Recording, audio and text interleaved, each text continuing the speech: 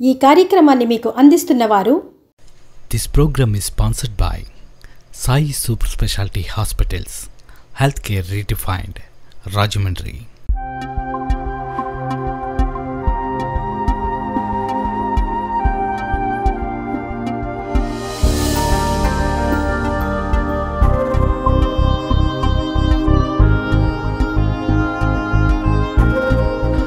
సకల సౌకర్యాలతో కూడిన అత్యాధునిక వైద్యం అందరికీ అందుబాటులో.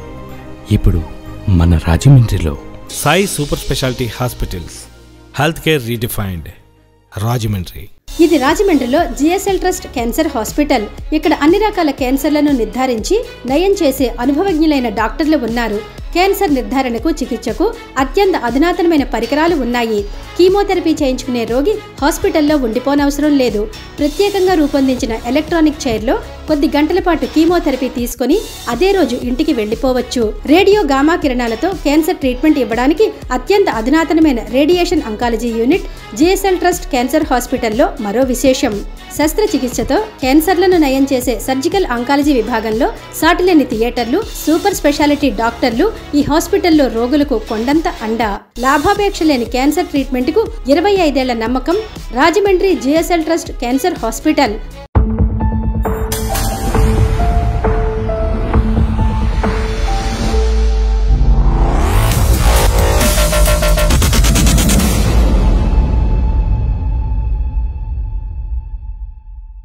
CP Reddy Hero main road T Nagar Rajahmundry cell. Double seven nine double seven double six three eight nine Shanti PVC and HDPE pipes blue casing pipes Astral CPVC pipes gel Cera Shanti pipes tiles and sanitary Rangachari street T Nagar Rajahmundry. నేను డాన్స్కి పనికిరానంట. ఏ? ఎందుకని?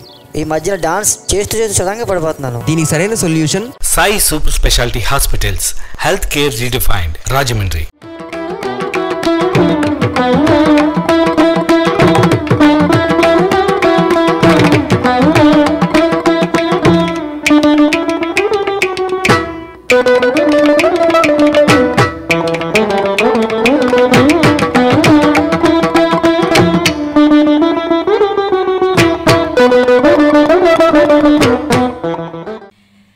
సనాతన సంస్కృతికి భారతీయ వేద వాంగ్మయానికి ఆనవాలం గోదావరి తీరం. వేద పురుషుని నిలయం ఈ పవిత్ర ప్రదేశం. అంతటి మహత్తుగల ప్రదేశంలో వేద పురుషుని ప్రతిరూపంగా మానవ రూపాన మన ముందు సాక్షాత్కరించిన వేదమూర్తి బ్రహ్మశ్రీ విశ్వనాథ జగన్నాథ ఘనపాటి. భారత తొలి రాష్ట్రపతి బాబు రాజేంద్ర ప్రసాద్ నుంచి మొట్టమొదటి రాష్ట్రపతి పురస్కారం అందుకున్న జగన్నాథ ఘనపాటి గారి వారసులు వేద వేదాంతవేత్త అయిన మన శ్రీ విశ్వనాథ గోపాలకృష్ణ శాస్త్రి. వీరు తండ్రిని మించిన తనయులు. గురువులే అచ్చరువందే రీతిన సాగింది వీరి విద్యాభ్యాసం. పాఠం జాగ్రత్తగా చెప్పకపోతే ఘనపాటి గారి అబ్బాయి ఎక్కడ తప్పు పట్టుకుంటారో అన్నంతగా ఆ రోజుల్లో అయ్యవార్లు శ్రద్ధగా బోధన చేసేవారన్నది అతిశయోక్తి ఎంత మాత్రం కాదు. ఏకసంతాగ్రాహి అయిన గోపాలకృష్ణ శాస్త్రి పిన్న వయసులోనే గొప్ప పండితునిగా రాణించారు. దేశంలో తర్కశాస్త్రంలో మహాపండితులున్నారు. వ్యాకరణంలో విద్వాంసులున్నారు. మీమాంసలో నిష్ణాతులున్నారు. అయితే తర్కం వ్యాకరణం మీమాంస వేదాంత శాస్త్రాల్లో అత్యుత్తమ పండితులుగా నిలిచిన వారు అత్యరుదు. అంతటి మహా విద్వత్ పండితులు శాస్త్రకారులు మన విశ్వనాథ. శ్రీ గౌతమి విద్యాపీఠం సంస్కృత కళాశాల ప్రిన్సిపాల్గా పాతికేళ్ళ పాటు నిరుపమాన సేవలందించారు. అన్నవరం శ్రీ వీర వెంకట సత్యనారాయణ స్వామివారి దేవస్థానానికి కంచి కామకోటి పీఠానికి శృంగేరి శారదా పీఠానికి ఆస్థాన శాస్త్ర పండితులుగా వ్యవహరిస్తున్నారు. ఎన్నో ఎన్నెన్నో జాతీయ అంతర్జాతీయ వేదికలపై శాస్త్ర చర్చలు వాద సంవాదాలు చర్చోపచర్చలు పండిత చర్చలతో రాణించారు. ఇంకా రాణిస్తూనే ఉన్నారు.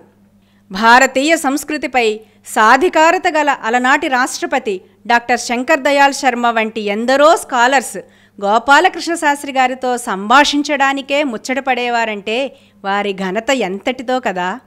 వీరు అందుకున్న సత్కారాలు సన్మానాలు అవార్డులు రివార్డులు బిరుదులు భూషణాలు పురస్కారాలు పండిత గౌరవాలు లెక్కకు మిక్కిలి. మహామహోపాధ్యాయ దర్శనాలంకార శాస్త్రనిధి శాస్త్ర రత్నాకర పండితరత్న శాస్త్ర విద్వన్మణి శాస్త్ర విభూషణ వగైరాలు అందులో కొన్ని మాత్రమే. ఈ మధ్యనే వీరు శాస్త్ర పండితులకు ఇచ్చే అత్యున్నత రాష్ట్రపతి పురస్కారం కూడా అందుకున్నారు. తక్కినవన్నీ ఒకెత్తు. రాష్ట్రపతి పురస్కారం మరొక ఎత్తు. ఇది జీవిత పర్యంతం ఏటేటా లభించే పురస్కారం గౌరవం. ఇంతటి మహోన్నత పండిత శిఖరం మన మధ్య మనతో పాటు మనందరితో పాటు సాదాసీదాగా మసలుతూ మనకు దర్శనమివ్వడం మనందరి పూర్వజన్మ సుకృతంగా సంభావించాలి.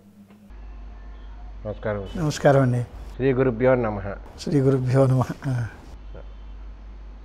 రాజమండ్రి రోల్ మోడల్స్తో పేరుతోటి ఇవంటి దిగ్గజాలని నవతరానికి పరిచయం చేయాలనే ఉద్దేశంతో చేపట్టిన ఈ కార్యక్రమానికి మేము కోరిన వెంటనే వచ్చినందుకు ముందుగా కృతజ్ఞతాభివందనాలు తెలియజేస్తున్నాం మాస్టర్. సంతోషం. మంచి కార్యక్రమం చేపట్టారు. యువతకి మార్గదర్శకత్వం వహించడం మన ధర్మం. మేము దిగ్గజాలు కాకపోయినా మీ కార్యక్రమం మంచిది. దాన్ని నేను పూర్తిగా అభినందిస్తూ నాకు అవకాశం ఇచ్చినందుకు ధన్యవాదాలు ముందుగానే చెప్తున్నాను విషయంలోకి పెడదామండి కేవలం ప్రతిభ ఆధారంగా తండ్రి కొడుకులు ఇరువురికి కూడా రాష్ట్రపతి పురస్కారాలు లభించడం అన్నది దేశంలోనే ఒక అరుదైన ఘట్టం. దీన్ని మీరు ఎలా సంభావిస్తారు? ఇవి ఏమైనా ఇంతకు ముందు ఏమైనా ఇలాంటివి జరుగుతాయని మీరు ఏమైనా ఊహించగలిగారా? ఇప్పుడు ఈ సన్మానాలు పురస్కారాలు ఇవన్నీ కాలం కలిసి వచ్చి అదృష్టం వల్ల వచ్చేటువంటివి కానీ తప్ప ముందు ఊహించేటువంటి విషయాలు కాదు. మన ఆయన గారు జగదేక వీరుడు జగదేక గణపతి ఆయనకి రావడం న్యాయం. దానిలో సందేహం లేదు. ఆయన కడుపును పుట్టడం పెద్ద గురువులను సేవించుకోవటం నేను చేసుకున్న అదృష్టం. దాని ఫలితంగా గురువుల ఆశీర్వాదంగా నాకు కూడా ఆ అవకాశం వచ్చినందుకు నేను సంతోషిస్తున్నాను. తండ్రి కొడుక్కి వచ్చినటువంటి ఘట్టాలు మీరు అన్నట్టుగా అరుదే. అయినా ఒకళ్ళిద్దరు ఉన్నారు. మా మేనమామ గారు పేరు సూర్యనారాయణ శాస్త్రి గారు వారి అబ్బాయి పేరు సుబ్బరాయన్ గారు. ఇద్దరికీ కూడా అవార్డు వచ్చింది. అలాగా అత్యంత అరుదుగా జరిగే సంఘటన చాలా ఆనందాన్ని మాత్రం పొందాం. అలాగే అతి పిన్న వయసులోనే అంటే ఆరు పదులకు లోపలే ఆరు పదులకు చేరుకోవడానికి లోపలే మీకు మహామహోపాధ్యాయ టైటిల్ కూడా వచ్చింది శాస్త్ర పాండిత్యంలో. దీన్ని ఎలా సంభావిస్తాం మనం? అయితే ఒక విషయం అండి. మా పూర్వతరం వాళ్ళు అంటే నాకంటే ఒక ఇరవై ఏళ్ళు వయస్సు అయిన వాళ్ళు చాలామంది పండితులు ఉండేవారు. ఆ కాలంలో ఆ మధ్యలో శాస్త్రం చదివేటువంటి వాళ్ళ సంఖ్య బాగా తగ్గిపోయింది గణనీయంగా. పెద్ద తరం పూర్తయిపోయిన కాలంలో పెద్ద తరానికి చివరిగాను యువతరానికి మొదటగాను మధ్యలో మా ప్రస్థానం జరుగుతోంది. నేను నా వయస్సు వాళ్ళు ఇద్దరు ముగ్గురు. శాస్త్రాధ్యయనం ఆగిపోయిన కాలంలో మేము మొదలుపెట్టి చదువుకున్నాం. ఆ పెద్దవాళ్ళందరిది ఆ కాలం అయిపోయింది వారి తరం అయిపోయింది. తర్వాత ఉండేటువంటి వాళ్ళ తరంలో మొదటి వాళ్ళం మేమే వచ్చాం. అందుచేత వయస్సుతో సంబంధం లేకుండా ఈ విద్యను చదివినటువంటి వాళ్ళు చాలా తక్కువ మంది ఉన్నారు కనుక దానికి గౌరవించాలి ప్రచారం చేయాలి అనేటువంటిది ఒక సంకల్పం రాష్ట్రీయ సంస్కృత విద్యాపీఠం. ఇప్పుడు నేషనల్ సంస్కృత యూనివర్సిటీ అనే పేరుతో ఉంది జాతీయ విశ్వవిద్యాలయంగా కూడా గుర్తింపు పొందింది. మరి చేశారు. అక్కడ విద్వాంసులు అందరూ విద్వత్పక్షపాతులు విద్య యొక్క గౌరవం తెలిసిన వారు కనుక నా మీద ఉండే ప్రేమతో చదువు మీద ఉండే అభిమానంతో అది ముఖ్యం. వ్యక్తిగతమైన గౌరవాల కంటే కూడా చదువు మీద ఉండే గౌరవంతో ఆదరించాలని వారు అనుకోవటం వారి సౌహార్దం వల్ల అది రావటం జరిగింది. దానికి ప్రత్యేకమైన ప్రయత్నాలు అంటూ ఏమి ఉండవు. ప్రయత్నం చేసినా రాదు ప్రయత్నం చేయకపోయినా వస్తుంది ఒకప్పుడు వచ్చేప్పుడు. ఆ వచ్చేటప్పుడు ఆ ఇచ్చేటువంటి వాళ్ళ యొక్క ఉదాత్త స్థితి వాళ్ళు నిజాన్ని విద్యని గుర్తించడం అనేది అది వాళ్ళ యొక్క వివేకం. ప్రధానం కానీ మంది కాదు. వచ్చినందుకు చాలా సంతోషం. ఇప్పుడు ఒకసారి వెనక్కి పెడదామండి. మీ పితామహులు పూరి జగన్నాథుని భక్తులని వారు ముందే జాతక చక్రం వేసి సరిగ్గా ఆ సమయానికే తనకు పుత్రుడిని ప్రసాదించమని ప్రార్థిస్తే జగన్నాథ గణపాటి గారు అలాగే పుట్టారని చెబుతూ ఉంటారు. ఈ ఉదంతం ఏంటి సార్? నిజమండి. మా పితామహులు అని మా తాతగారని చెప్పడం కాదు కానీ ఆయన మహా తపస్శాలి. ఆయనకి జీవితకాలంలో శివదర్శనం అయింది జగన్నాథ స్వామికి ఇలవేలుపుగా ఆయన భక్తులు గొప్ప వేద పండితులు. ఆయన ఎప్పుడూ జీవితంలో పక్క వాళ్ళ ఇంట్లో భోజనం చేయలేదు ఒక రూపాయి ప్రతిగ్రహం చేయలేదు. శివాలయం కట్టి శివాలయంలో శివ తపస్సుతోటే జీవితం అంతా గడిపారు. ఆయనే మా నాన్నగారి జాతకం వేశారు ముందు. దానికి నేపథ్యం ఏంటంటే మా నాన్నగారికి మా పెదనాన్నగారికి సుమారు పన్నెండు పదమూడేళ్ళు తేడా ఉంది వయస్సు మధ్యలో కొంత పుత్ర సంతానం నష్టమైంది. ఆయన కొంచెం అంగ ఇబ్బందిగా ఉండి అంగసౌష్ఠవం లేక ఆయన అంత పెద్ద ఎక్కువగా రాణించలేకపోతున్నారనే భావం ఆయనకుండి. మంచి వేద పండితుడు నేను అనుకున్న లక్షణాలతో ఉండేవాడు నేను అనుకున్న జాతకంలో ఏదైనా కుమారుడు పుడితే నీ పేరు పెట్టుకుంటాను అని జగన్నాథ స్వామికి మొక్కుకున్నారు. ఇప్పుడు విచిత్రం ఏంటంటే మా మామగారికి అప్పుడు సంతానం కలిగే కాలం దాటిపోయింది. ఋతుదోషం కూడా పోయిందట. అని చెప్తారు. అలాంటి కాలంలో జగన్నాథ స్వామి అనుగ్రహం చేతనే ఈయన పుట్టారని జగన్నాథుడి పేరు పెట్టుకున్నారు. చిన్నప్పటి నుంచి కూడా ఈ ఆయన విషయం అంతా కూడా చాలా అతి అతిలోక చరిత్రగా ఉండేది. అది ఈ రోజుల్లో చెబితే ఇదంతా ఎగ్జాజరేషన్గానో లేకపోతే నమ్మడానికి శక్యం కాదు అని అనుకుంటారు. ఆ మహిమాన్విత వ్యక్తి ఒక్కొక్కప్పుడు ఆయన మంత్రజలం చేసి చేస్తే చుట్టూ అంతా ఇల్లు అంతా అంటుకుపోయినా ఆయన పాఠం చెప్పే టైంలో ఎక్కడ ఏమి అగ్నిబాధ లేకుండా ఉండటం. ఇలాంటివన్నీ ఉన్నాయి. అవన్నీ మా నాన్నగారి శత జయంతి శివాలయ నిర్మాణంలో కూడా ఇటుక ఆమె పెట్టినప్పుడు పెద్ద వర్షం వస్తూ ఉంటే అక్కడ ఏం పర్వాలేదు మనకి ఇబ్బంది లేదు శివుడు చూసుకుంటాడు అనేటువంటి విషయం కొన్ని లీలలుగా ఉన్నాయి. అవన్నీ అందరూ నమ్ముతారా అని కాదు కానీ జరిగిన సంఘటనలు. లేనిపోని కల్పన చేసి చెప్పాల్సిన అవసరం మనకు లేదు కదా. కానీ ఆయన అంత తపస్శాలి తపస్సుకి ఆ శక్తి ఉంది. ఆ తపస్సుని ఆయన కాపాడుకున్నారు. ఆ తపఃప్రభావం చేతే మనందరం ఈ రోజుల్లో మేమందరం పెద్ద వేషాలు వేస్తున్నాం తప్ప ఇదంతా మా ప్రతిభ కాదు. ఆయన చేసిన తపస్సు తర్వాత తరాలకు కూడా మాకందరికీ రక్షణగా నిలుస్తోంది. మా నాయనగారు వేద పండితులు చాలామంది ఉన్నా ఆయన ఉపదేశ బలం ఆయన మడిగా వేదాధ్యయనం చెప్పడం అరటి దడపతోటి గోచీలు పెట్టి మడి పాచి పడకుండా వేదాధ్యయనం చెప్పేవారు ఆయన. వేదం చదువుకునేటువంటి వాళ్ళు భోజనం చేసిన తర్వాత చదవకూడదని పాచిపడి చదవకూడదని ఒక నియమాలు. అలాంటి నియమపూర్వకంగా వేదం చదివారు కనుక ఆ వేదం ఆయనకి అంతలాగా అనుగ్రహించింది. వేద పురుషుడు యొక్క అనుగ్రహం చేత ఆయన జగత్తులో మంచి పేరు సంపాదించుకున్నారు. తాతగారి తపఫలం తాతగారికి నమస్కారాలు. ఆయన జగన్నాథస్వామిని అడిగారు అంటే ఆయన జగన్నాథుడు అనుగ్రహించాడు. అదే పేరుతోటి ఈయనకి పేరు పెట్టుకోవడం కూడా జరిగింది. వేదం వినాలి అంటే జగన్నాథ గణపాటి నోటి ద్వారానే వినాలి అని మొట్టమొదటి రాష్ట్రపతి బాబు రాజేంద్ర ప్రసాద్ గారు అన్నారని శృంగేరి పీఠాధిపతులు అన్నారని కంచి పీఠాధిపతులు మహా పరమాచార్య స్వామి. స్వామివారు పరమాచార్య స్వామివారు కూడా వీళ్ళందరినీ కూడా ఆకర్షించిన గొప్ప మీరు అన్నట్టుగా తపస్సంపన్నులు వారు. వేదమాత అనుగ్రహాన్ని పరిపూర్ణంగా పొందిన చూసిన వారు పొందినవారు అటువంటి జగన్నాథ గణపాటి వారి రాజమండ్రి ప్రస్థానం రాజమండ్రి స్థిర నివాసం అలాగే వేద విద్యా ప్రస్థానం దేశ సంచారం ఈ విషయాలు వివరించండి. చాలా మంచి ప్రశ్న అడిగారండి. ఆయన గురించి చెప్పుకుంటేనే మనం పుణ్యం. మన జన్మ ధన్యం అవుతుంది ఆయన చిన్నతనంలో పన్నెండేళ్ళు అయ్యేసరికే తాతగారి దగ్గర క్రమాంతం అధ్యయనం పూర్తి అయిపోయింది వేదం. తర్వాత పదమూడేళ్ళకే పితృవియోగం జరిగింది తాతగారు కాలం చేశారు. మా పెద్ద మేనత్త గారు ఈ ఊళ్ళో ఉండేవారు సరిపల్లి దక్షిణామూర్తి గారని ఆయన మంచి సంగీత విద్వాంసులు. ఆ పెద్ద మేనత్త గారు వాళ్ళు ఈ ఊళ్ళో ఉన్నప్పుడు ఇంకా తండ్రి పోయిన తర్వాత అన్నదమ్ములు ఇద్దరిని మా పెదనాన్నగారు మా నాన్నగారు ఇద్దరు కలిపి అక్కయ్య గారి కోసమని ఇక్కడికి వచ్చి ఇక్కడే స్థిర నివాసం ఏర్పరచుకుందామని ఉద్దేశంతో రాజమహేంద్రవరానికి వచ్చారు. వచ్చే టైంకి ఆయనకి పద్నాలుగేళ్ళు ఆ వయస్సు ఉంటుంది. ఆ తర్వాత మళ్ళీ చిన్నప్పుడే బాల్య వివాహాలు కదా ఆ రోజుల్లో.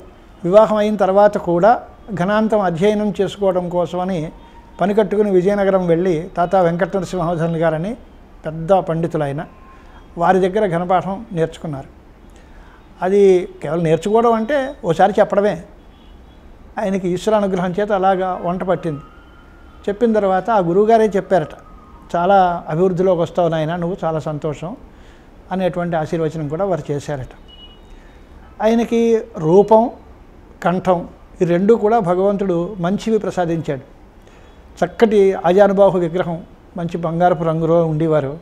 మంచి కంఠం మైక్ లేకుండా సుమారు ఐదు ఆరు వందల మంది కూర్చున్నా వినిపించేటువంటి కంఠధ్వని ఉండేది. మంచి శారీరకమైన బలం ఉండేది. విద్య చాలా నిర్దిష్టమైన విద్య. అంచేత ఆయన పనసు చెబుతూ ఉంటే అందరూ ఆకర్షింపబడేవారు. వేద సభల్లో కూడా అందరూ కలిసి చెప్పినా మీరు ఒక్కరూ ఓ పనసు చెప్పండి అని పండితులందరూ కూడా అడగడం చాలా విశేషం. సాధారణంగా అందరూ చెప్పాం కదా ఆయన గొప్ప ఏమిటి అనే రకంగా ఉంటుంది వ్యవహారం పండితుల మనస్సు. కానీ పండిత సభల్లో కూడా పండితులందరూ అంతా అయిన తర్వాత మీరు ఒకటో పనసు చెప్పండి ఆ నోటమ్మటి వస్తే వినాలనుంది అనేటువంటి అందరూ చెప్పేది అదే పనసైనా అయినా ఆ చెప్పడంలో ఒక అందం. మంచి గాయకులు ఉన్నప్పుడు ఒకే పాటని అందరూ పాడినా ఒక్కొక్క గాన మాధుర్యంతో ఆయన పాడితే బాగుంటుంది అంటారు కదా. అలాగా ఆయన ఘనపాఠానికి ఒక విశేషమైనటువంటి కీర్తి లభించింది. ముఖ్యంగా అంతకు ముందు కూడా ఘనపాఠలు ఉన్నారు. కానీ ఎప్పుడూ కూడా వాళ్ళు ఘనపాఠులు అనేటువంటి పేరుతోటి లోకంలో చలామణి ప్రసిద్ధి కాలే. ఘనపాఠానికి విస్తృత ప్రచారం కల్పించింది నాన్నగారే. వారి సమకాలంలోనూ మంచి మంచి ఘనపాఠలు ఉన్నారు అంతకు ముందు ఉన్నారు తర్వాత ఇప్పుడు కాలంలో కూడా ఉన్నారు. కానీ ఘనపాఠం మీద ప్రత్యేకమైనటువంటి ఆదరం చూపించి దానికి విస్తృత ప్రచారం చేయాలని. ఉదాహరణకు ఒకసారి విజయనగరంలో ఘంటసాల వెంకటేశ్వరరావు గారు సంగీత కచేరీ చేస్తూ ఉంటే అందరూ ఆకర్షిస్తారు కదా మనం ఘన చెప్తే ఎందుకు ఆకర్షించరు అనేటువంటి అభిప్రాయంతో ఈయన కూర్చుని వేదం చెప్తే దానికి కూడా మంచి రెస్పాన్స్ వచ్చింది అప్పుడు. తెలియకపోవడం అంటే వారి పాట పాట పాడితే మనకి తెలియకపోవచ్చు. తెలియకపోయినా ఆ మాధుర్యానికి అందరూ ఆకర్షితులవుతారు. మీరు విజయనగరం అంటే గుర్తొచ్చింది. ఆదిభట్ల నారాయణదాస్ గారు కూడా నాన్నగారి తాతగారు కూడా మాకు కొంత దూరం బంధువు ఆయన. ఆయన పంచలయ్యాలని ఐదు రకాల లయలతో రెండు చేతులు రెండు కాళ్ళు శిరస్సు పంచలయాలతోటి ఎరా లయబద్ధంగా చెప్తావా అని అడిగారట చిన్నతనంలో ఘన వల్లించే రోజులు. ఆ లయ మాకు తెలియదండి తాతగారు నాకు చెప్పింది నేను చెప్తాను మీరు ఆ లయ సరిపోయిందో లేదో మీరు చూసుకోండి అని ఈయన అన్నారట. చెప్తే ఈయన చెప్తే బాగుందిరా లయబద్ధంగా ఉంది చాలా పెద్ద మంచి పేరు అవుతాం పంచతాళాలకి పంచతాళాలకి సరిపోయింది. అనేటువంటి మాటగా ఆ తాతగారు నారాయణదాస్ గారు కూడా ఆశీర్వదం చేశారని. ఆయన సరస్వతి మూర్తి కుంభావ సరస్వతి ఆయన అమ్మవారి అనుగ్రహం కలిగినటువంటి వ్యక్తి. ఆయన అనుగ్రహం కూడా ఈయనకి పొందారు. ఆ తర్వాత దేశంలో అన్ని చోట్ల కూడా విస్తృతమైనటువంటి ప్రచారం చేయటం దేశం అంతా తిరగటం జగద్గురు శ్రీమతి అభినవ విద్యాతీర్థ మహాస్వాముల వారు వారిని ఆశీర్వదించి ఘనాలంకార బిరుదుతోటి సన్మానం చేయటం. తర్వాత భారత రాష్ట్రపతి బాబు రాజేంద్ర ప్రసాద్ గారు విద్యావాచస్పతి అనే బిరుదుతో సన్మానం చేయటం. కంచి కామకోటి పరమాచార్య స్వామి వారు నడిచే దేవుడు. వారు ఘనపాఠ చక్రవర్తి అనే బిరుదుతోటి ఆశీర్వచనం చేయటం. ఇవన్నీ జరిగాయి ఏదో వేద సమ్రాట్ అని విద్యావాచస్పతి అని రకరకాల బిరుదులు సన్మానాలు సంక గండపెండేల సన్మానాలు అన్నీ అయ్యాయి. ఎన్ని సన్మానాలు వచ్చినా ఆయనకి అహంకారం అనేది ఎప్పుడూ లేదు. అందరు పండితులతోటి సమానమైనటువంటి ప్రవృత్తితో ఉండి అందరినీ గౌరవించడం అనేదే ఆయన అలవాటు తప్ప నేనేదో లోకంలోంచి అందరికంటే గొప్పవాడిని వీరందరినీ తక్కువగా చూడాలనే భావం ఎప్పుడూ లేదు. అంచేతనే ఆయన గురించి కూడా మనం ఏదైనా సన్ గౌరవం చేద్దామంటే నా పేరుతోటి వేదశాస్త్ర పరిషత్తు పెట్టండి పది మంది వేద పండితుల్ని పిలవండి అందరినీ సత్కరించండి అని చెప్పేవారు. ఆయన చూపించిన మార్గంలోనే మనం అందరం మీకు తెలుసు కదా మనం కృష్ణాష్టమి నాడు బ్రహ్మశ్రీ విశ్వనాథ జగన్నాథ కనపాటి వేదశాస్త్ర పరిషత్ అనే పేరుతోటి సుమారు ముప్పై సంవత్సరాలుగా మనం చేస్తున్నాం. దానికి పేరూరు వాస్తవ్యులు మంతా రాంబాబు గారు మంతా రామచంద్రరావు గారు వారి కుటుంబ సభ్యులు విశేషమైన సహకారం అందిస్తున్నారు. మన మిత్రులు రాజమహేంద్రవర పుర ప్రముఖులు అందరి సహకారంతో అది బాగా సాగుతోంది. నాయనగారు చిన్నతనంలో చాలా ఆర్థికంగా ఇబ్బందులు పడ్డారు. అధ్యయనం పూర్తి చేసి ఇక్కడికి వచ్చిన తర్వాత మళ్ళీ ఘనపాఠం చదువుకోవడానికి విజయనగరం వెళ్ళటం తర్వాత రావటం సరే కుటుంబ సమస్యల్లో కూడా అనేక రకాల ఇబ్బందులు పడ్డారు. చాలామంది నాకు మా అన్నయ్య గారికి మధ్యలో ముగ్గురు మగపిల్లలు ఒకే వారంలో కాలం చేశారు. ఇలాంటివి ఉన్నా ఆయన ఏమీ చాలా ధైర్యానికి ఎప్పుడూ లోపం లేదు. ఆయన ఒకటే మాట అనేవారు నాకు ఏ ఆపద వచ్చినా భయం లేదు వేదం మర్చిపోతే భయపడాలి తప్ప ఇవన్నీ వస్తే కొడుకులు పుడతారు మళ్ళీ వస్తారు మళ్ళీ పోతారు అది మాది బాధ లేదు. కానీ వేదం మర్చిపోతే బాధపడాలి తప్ప దీనికోసం బాధపడేది ఏమిటని ఇవ్వరు మేము ఉన్న ఇల్లు తుమ్మలంలో మీకు తెలుసు తుమ్మలంలో ఒకసారి అగ్నికి ఆహుతి అయిపోయింది. మొత్తం అంతా తుమ్మలం పేట అంతా తుమ్మ చెట్లు ఉండేవి. అదంతా అగ్నికి ఆహుతి అయిపోయింది. తర్వాత యాభై మూడు వరదల్లో ఒకసారి వరుణదేవుడు అనుగ్రహించి జలసమాధి అయింది మొత్తం అంతా. ఆ తర్వాత కూడా ఇప్పుడు ప్రజలు అభిమానించారు. ఆయన వేదపురుషుడు అనుగ్రహం ఉంది. మళ్ళీ నిలతొక్కుని ధైర్యంగా ముందు జీవితంలో గడిపారు. అంటే ఏ సమస్య వచ్చినా ఆయనకి దిగాలు పడిపోవడం కానీ మనసులో మనస్సులో ఆదుర్దా చెందడం కానీ ఏమీ లేదు. ధైర్యంగా మనస్సు వేదపురుషుడు ఉన్నాడు వేదం రక్షిస్తుంది మనని అనేటువంటి అభిమానంతో ఉండేవారు. మీరు అన్నారు కనుక ఒక మాట చెప్పాలి. ఒక్క మాట చెప్పాలి. మాకు ఆ- ఓ ఎకరాలు ఏవో ఉండేవట మా చిన్నతనంలో మాకు తెలియదు. చిట్టు చివరికి నాకు జ్ఞానం వచ్చినప్పటికీ మాకు ఉండేది ఒక అరెకరం తోట ఉండేది. అది కూడా అమ్మేసి ఓ నలభై రోజులు నలుగురు వేద పండితులతో మార్కండేశ్వర స్వామి దేవాలయంలో ఘనస్వస్తి చెప్పించారు ఆయన. ఉన్న అరెకరమే. అది కూడా అమ్మేస్తే ఆ రోజుల్లో ఆ రోజులు వచ్చింది.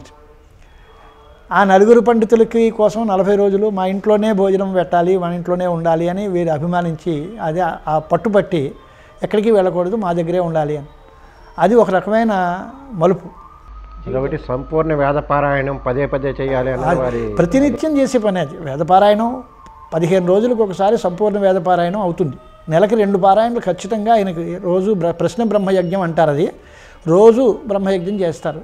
ఏవైనా పనుల్లో బయట రెండు మూడు రోజులు తిరిగినా దాన్ని అంతటినీ కూడా మనం మన భాషలో చెప్పాలంటే కాంపెన్సేట్ చేస్తూ ఒకరోజే ఒక పదిహేను ఇరవై పన్నాలు కూడా చెప్పిన రోజులు ఉన్నాయి. మొత్తం మీద నెలకి రెండు వేదపారాయణలు ఆయన పూర్తిగా ఎప్పుడూ చేశారు. ఎక్కడికి వెళ్ళినా వేదపారాయణ మానలేదు. ఆ వేదపురుషుడు యొక్క అనుగ్రహం చేతనే మనం అందరం పిల్లపాపలతో సుఖంగా ఉన్నాం. కుటుంబ అభివృద్ధికి ఈశ్వర అనుగ్రహం వేదపురుషుడు యొక్క అనుగ్రహం. అలాగే గణపాటిల్లో మొట్టమొదటి రాష్ట్రపతి పురస్కారం పొందింది కూడా జగన్నాథ్ గణపతి గారే అని చెప్తారు.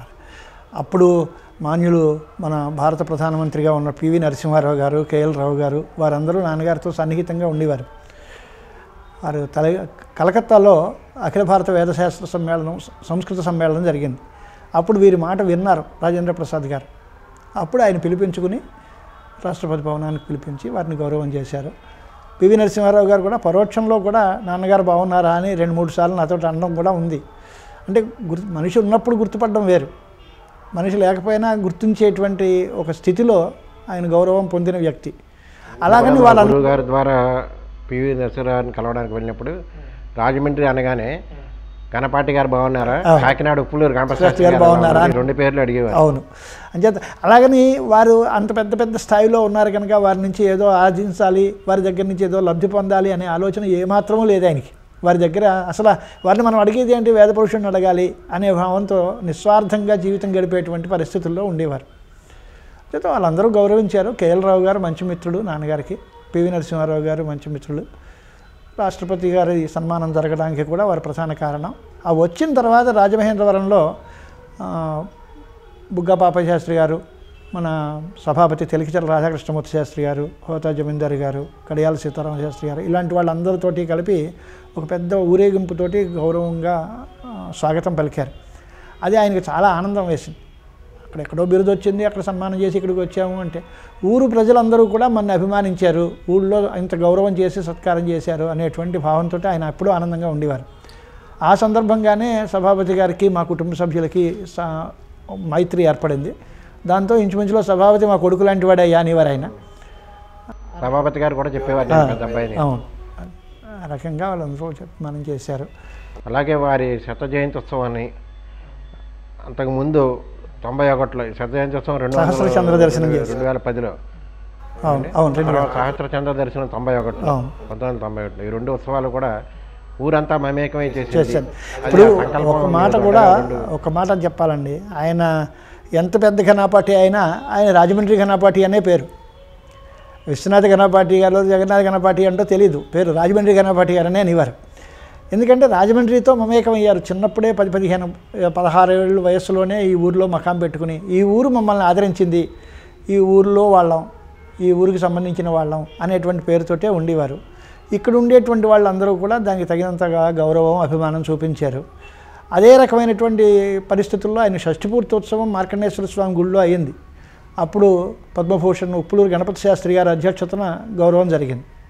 తర్వాత సహస్రచంద్ర దర్శనం వాడ్రేవారి సత్రంలో చాలా బాగా జరిగింది. చాలామంది పండితులందరూ వచ్చారు పురప్రముఖులందరూ వచ్చారు. అది కూడా చాలా వైభవంగా జరిగింది. శత జయంతి ఉత్సవం మనందరం కలిసి చేసిందే మీకు అందరికీ తెలుసు. సహస్రచంద్ర దర్శనం నాటికి కూడా మీరందరూ ఉన్నారు.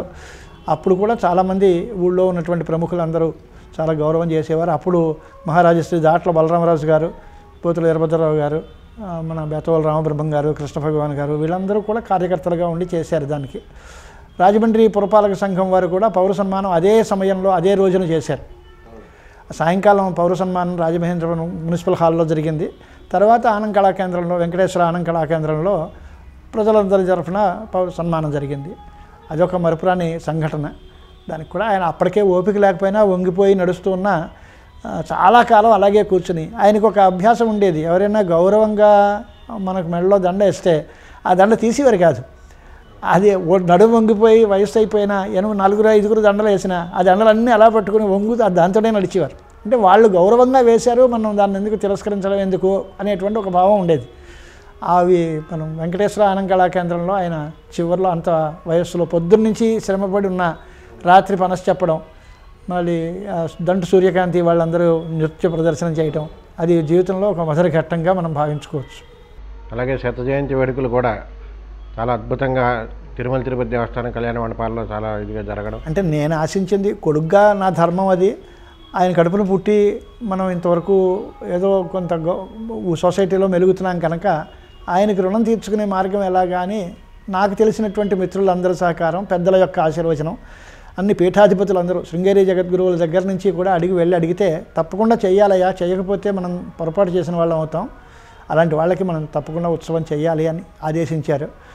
చాలామంది సహకరించారు. మన రాష్ట్రమే కాదు తమిళనాడు కర్ణాటక కేరళ అలాంటి వాటి దగ్గర నుంచి కూడా సహకారం వచ్చింది. అప్పుడు కూడా వారు ఆశించినట్టుగానే పండిత సత్కారాలు అదే అది. ఎప్పుడు దానికోసమే అసలు సత్కారం చేసింది. వేద పురుషుడిని సన్మానం చేయాలి. ఆంధ్ర రాష్ట్రంలో ఉండే అందరూ వేద పండితులని పిలిపించి వారందరినీ సత్కరించాలి అనేదే ప్రధాన లక్ష్యం. దానికోసమనే పెట్టాం. చాలా వైభవంగా జరిగింది. మన మిత్రులు అందరూ చాలా బాగా సహకరించారు. దానికి జనరల్ సెక్రటరీగా మన విశ్వనాథం భాస్కర్ రాము గారు చాలా మంచి సహకారం అందించారు. ఊళ్ళో పుర ప్రముఖులు అందరూ కూడా చేశారు. దా ఆ సందర్భంగానే ఘన తపస్వి అనే ఒక సంచిక ఒకటి వచ్చింది. అది కూడా భవిష్యత్ తరాలకి ఈ వేదం గురించి శివుడి గురించి రుద్రాధ్యాయం గురించి వీటి గురించి మంచి విషయాలు అందించేటువంటి ఒక సంచికగా రూపుదిద్దుకుంది. దానికి కూడా మన మిత్రులందరూ సంపాదక వర్గంలో సహకరించారు. శలాక రఘునాథ్ శర్మ గారు సంపాదకులుగా ఉన్నారు. మిత్రుడు అరిపురాల నారాయణరావు మీరు పెరుమాళ్ రఘునాథ్ రాజు గారు మంతా రాంబాబు గారు ఇలాంటి వాళ్ళందరూ ఉన్నారు. ఒకళ్ళు ఒకళ్ళ పేర్లు చెప్పడం ఒకళ్ళు రెండు కాదు అందరూ మనకు మిత్రులే. అందరూ సహకరించే గనకే ఈ బాతికి ఇలా ఉన్నాం మన రాజమండ్రిలో. పైగా ఆయన జీవితంలో ఇంకొక గొప్ప మేము నేర్చుకోవాల్సిన పాఠం ఏంటంటే ఆయన మా పెదనాన్నగారు ఇద్దరు కలిసి ఊరు వచ్చారు ఇక ఇద్దరు ప్రాణం పోయే వరకు ఇద్దరు కదిలి వెళ్ళకూడదు. ఒకరిద్దరు కలిసే ఉండాలి. ఏం తిన్నా ఇద్దరు కలిసే తినాలి. ఒకే చోట ఉండాలి. అనేటువంటి ఒక సోదర ప్రేమతోటి వారి జీవితం అన్నదమ్ములు ఇద్దరు నడిచింది. అలా చివరి వరకు మా పెదనాన్నగారు కాలం చేసే వరకు ఇద్దరు పక్క పక్క వాటాల్లోనే ఉండేవారు. ఎప్పుడూ వదలలేదు. అదే రకంగా మా అన్నదమ్ములు ముగ్గురు మీరందరూ ఇలాగే ఉండాలి అని మాకు ఆదేశం చేసేవారు. ఏదో వారి ఆజ్ఞం లేకపోతే దైవం సంకల్పించిందో మేము అన్నదమ్ముల ముగ్గురం కూడా ఇవాళ వరకు రాజమండ్రిలోనే ఉన్నాం. అందరూ కలిసే ఉన్నాం. అటువంటి పరిస్థితుల్లోనే సోదర మైత్రి నడుస్తోంది. ఆ సోదర బంధం వారిద్దరిని చూసి నేర్చుకోవాల్సినటువంటి విశేషం. ఆయన ఘనపాఠిగా పెద్ద గౌరవాలు పొందుతున్నప్పుడు అన్నగారికి తగిన గౌరవం రావాలని ఆయన చేత యజ్ఞం చేయించి మొట్టమొదటి స- సత్కారం ఆయనకి ఇచ్చేటువంటి విధంగా ఆయన చేత సోమయాగం చేయించి వారికి మొదటి తాంబూలం ఇచ్చి తర్వాత ఈయన తీసుకునేవారు. అంటే అన్నగారిని అలా గౌరవించాలి అనేటువంటిది కూడా ఆయన మనసులో ఉండేది. ఆయన కూడా గొప్ప వేద పండితుడు. వేదం చదువుకున్నారు. మంచి స్మార్త యాజ్ఞికాలు అవి చేయించేవారు. యజ్ఞం చేశారు. విశ్వనాథ వెంకటేశ్వర స్వామియాజులు గారని. చేత వారి అన్నదమ్ముల మధ్యలో ఉండేటువంటి మైత్రి కూడా మనం తెలుసుకోవాల్సినటువంటి విషయం. భవిష్యత్ తరాలకి ఇవాళ అన్నదమ్ముల మధ్యలో కూడా అనుబంధాలు పోతున్నాయి. మీరు యువతరానికి మార్గదర్శకం అన్నారు కనుక ఇప్పుడు మా తాతల నేతలు నాకేరంటే మనకేం ఉపయోగం? వాళ్ళని చూసి మనం ఏం నేర్చుకోవాలి అనేటువంటిది కూడా ఆలోచించాలి కదా. పెద్దల్ని గౌరవించడం అన్నదమ్ముల మధ్యలో కుటుంబ సభ్యుల మధ్యలో ఏదైనా గౌరవించడం చేతనైనంత ఇతరులకు ఉపకారం చేయడం కష్టంలో ఆదుకోవడం ఇలాంటి మంచి అలవాట్లు కూడా వాళ్ళ దగ్గర నుంచి మనం నేర్చుకుంటాం.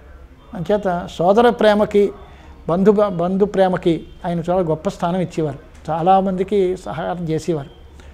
ఇంకా రకరకాలు చెప్పుకోవచ్చు అనుకోండి ఆయన విద్యారణి ఒక ఆయన అమలాపురంలో ప్రతిగ్రహం మానేశాను అన్నారు. తీసుకోను అని. ఆర్థికమైనటువంటి స్తోమత సరిగా లేదు. అలాంటి పరిస్థితుల్లో ఈయన ఏం చేశారంటే ప్రతిగ్రహం మీరు మానేశారు రైటేను అని ఆ ప్రాంతంలోకి వెళ్ళి అక్కడ మూడు నాలుగు రోజుల పాటు కార్యక్రమాలన్నీ చేసి వేదం చెప్పి అక్కడంతా వచ్చినటువంటిదంతా అగ్నిహోత్రుడి దగ్గర పెట్టేసి అగ్నిహోత్రుడికి ప్రసాదం అండి. నమస్కారం చేసుకుని వస్తున్నాను మీకు ఇవ్వలేదు.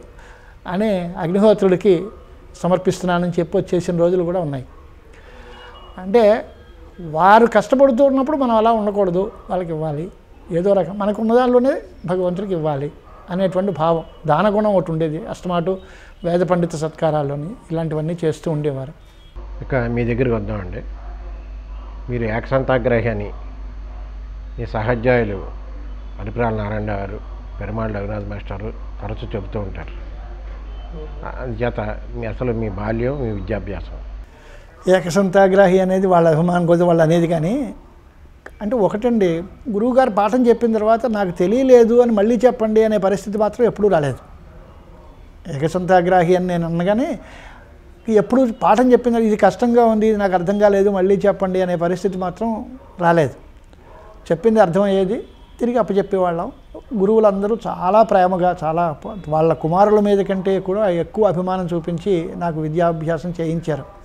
చాలా గొప్ప అదృష్టం ఏంటంటే నాకు పట్టినంత గురు సంపద అందరికీ దొరకదేమో అనిపిస్తుంది నాకు.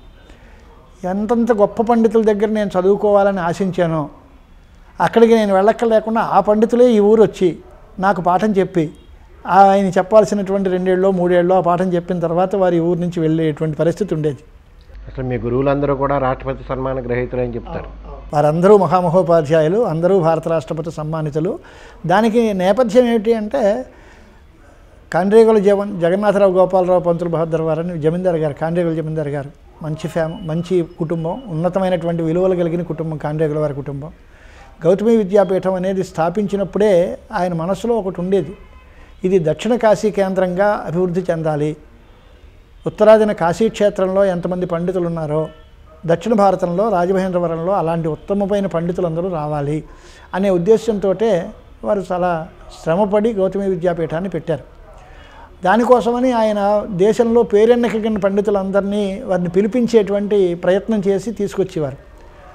తదనుగుణంగానే బ్రహ్మశ్రీ పేరి సూర్యనారాయణ శాస్త్రి గారు కానీ బ్రహ్మశ్రీ గోడ సుబ్రహ్మణ్య శాస్త్రి గారు కానీ బ్రహ్మశ్రీ కోటేశ్వర శర్మ గారు కానీ బ్రహ్మశ్రీ రేమల సూర్యప్రకాష్ శాస్త్రి గారు కానీ ఇలాంటి వాళ్ళందరూ మన ఊళ్ళో ఉండడం జరిగింది. ఆ విద్యాపీఠమే లేకపోతే ఈ ఊళ్ళోకి వాళ్ళందరూ వచ్చేవాళ్ళు కాదు. ఈ ఊరు వాస్తవ్యులు కాదు వాళ్ళు ఎవరు. వాళ్ళందరూ విజయనగరంలో కొంతమంది పొడగట్టుపల్లిలో ఒక ఆయన తమిళనాడులో ఒక ఆయన శ్రీరాల దగ్గర తిమ్మసముద్రంలో ఒక ఆయన ఇలా ఉండేవారు. కానీ జమీందారు గారి కృషి ఫలితంగా వారందరినీ ఇక్కడికి రప్పించారు ఆయన. ఆ రప్పించడం నా పాలిట పాలు పోసినట్టు అయింది నన్ను ఇద్దరు పాలు పోసినట్టు అయింది వారందరి దగ్గర చదువుకునేటువంటి అవకాశం నాకు వచ్చింది అంచేత ఎక్కడికి వెళ్ళి చదువుకోవడం అనేది సాధ్యపడేది కాదు. ఏదో ఉద్యోగం చేసేది. ఈ సందర్భంగానే మరొక మాట కూడా చెప్పుకోవాలి నేను. నేను చదువుకోవడానికి కానీ ఉద్యోగానికి కోసం కానీ ఎక్కడికి వెళ్ళలేదు. నా తొమ్మిదో ఏటలో గౌతమి విద్యాపీఠంలో ఆరో క్లాసులో చేరాను. మొదటి ఎలిమెంటరీ స్కూల్ ఎడ్యుకేషన్ లేదు నాకు. అది ఐదు ఐదు తరగతులకి కూడా మూడు నెలల పాటు ముదిగొండి సూర్యనారాయణమూర్తి గారని ఆయన పాఠం చెప్పి ప్రైవేట్గాను ఇంటూ ఫస్ట్ వారం పరీక్షలు ఉండేది అప్పుడు. ఆ అడ్మిషన్ టెస్ట్ రాయించి ఆరో క్లాసులో చేర్పించేశారు నన్ను. అంతకు ముందు ఏదో సంస్కృతం సాహిత్యం కావ్యాలు చదువుకోవడం ఇంటి దగ్గర ఉండేది. అక్కడి నుంచి ప్రారంభం పంతొమ్మిది వందల యాభై తొమ్మిదిలో అది జరిగింది. ఆ యాభై తొమ్మిదిలో గౌతమి విద్యాపీఠంలో హై స్కూల్ విద్యార్థిగా చేరాను. అక్కడ ఎస్ఎస్ఎల్సి వరకు చదువుకుని తర్వాత నాలుగేళ్ళ పాటు వ్యాకరణ విద్యా ప్రవీణ కాలేజీలో చదువుకుని తర్వాత మళ్ళీ ఒక ఏడాది పాటు హై స్కూల్లో సంస్కృత పండితుడిగా పనిచేసి తర్వాత జమీందార్ గారు పిలిచి కాలేజీలో లెక్చరర్గా ఉద్యోగం ఇచ్చారు. పదేళ్ళు కాలేజీలో పనిచేసి తర్వాత ఒక పాతికేళ్ళు అక్కడే ప్రిన్సిపాల్గా పనిచేసేటువంటి అదృష్టం పట్టింది. అంచేత This program is sponsored by Sai Super Specialty Hospitals, Healthcare Redefined, Rajamundry. నీ లంచ్ బాక్స్ రెడీ హెల్త్ బాగాలేదు మమ్మీ. ఈరోజు స్కూల్కి వెళ్ళను. ఈవినింగ్ హాస్పిటల్కి వెళ్దాం ఈ పూటకు వెళ్ళు.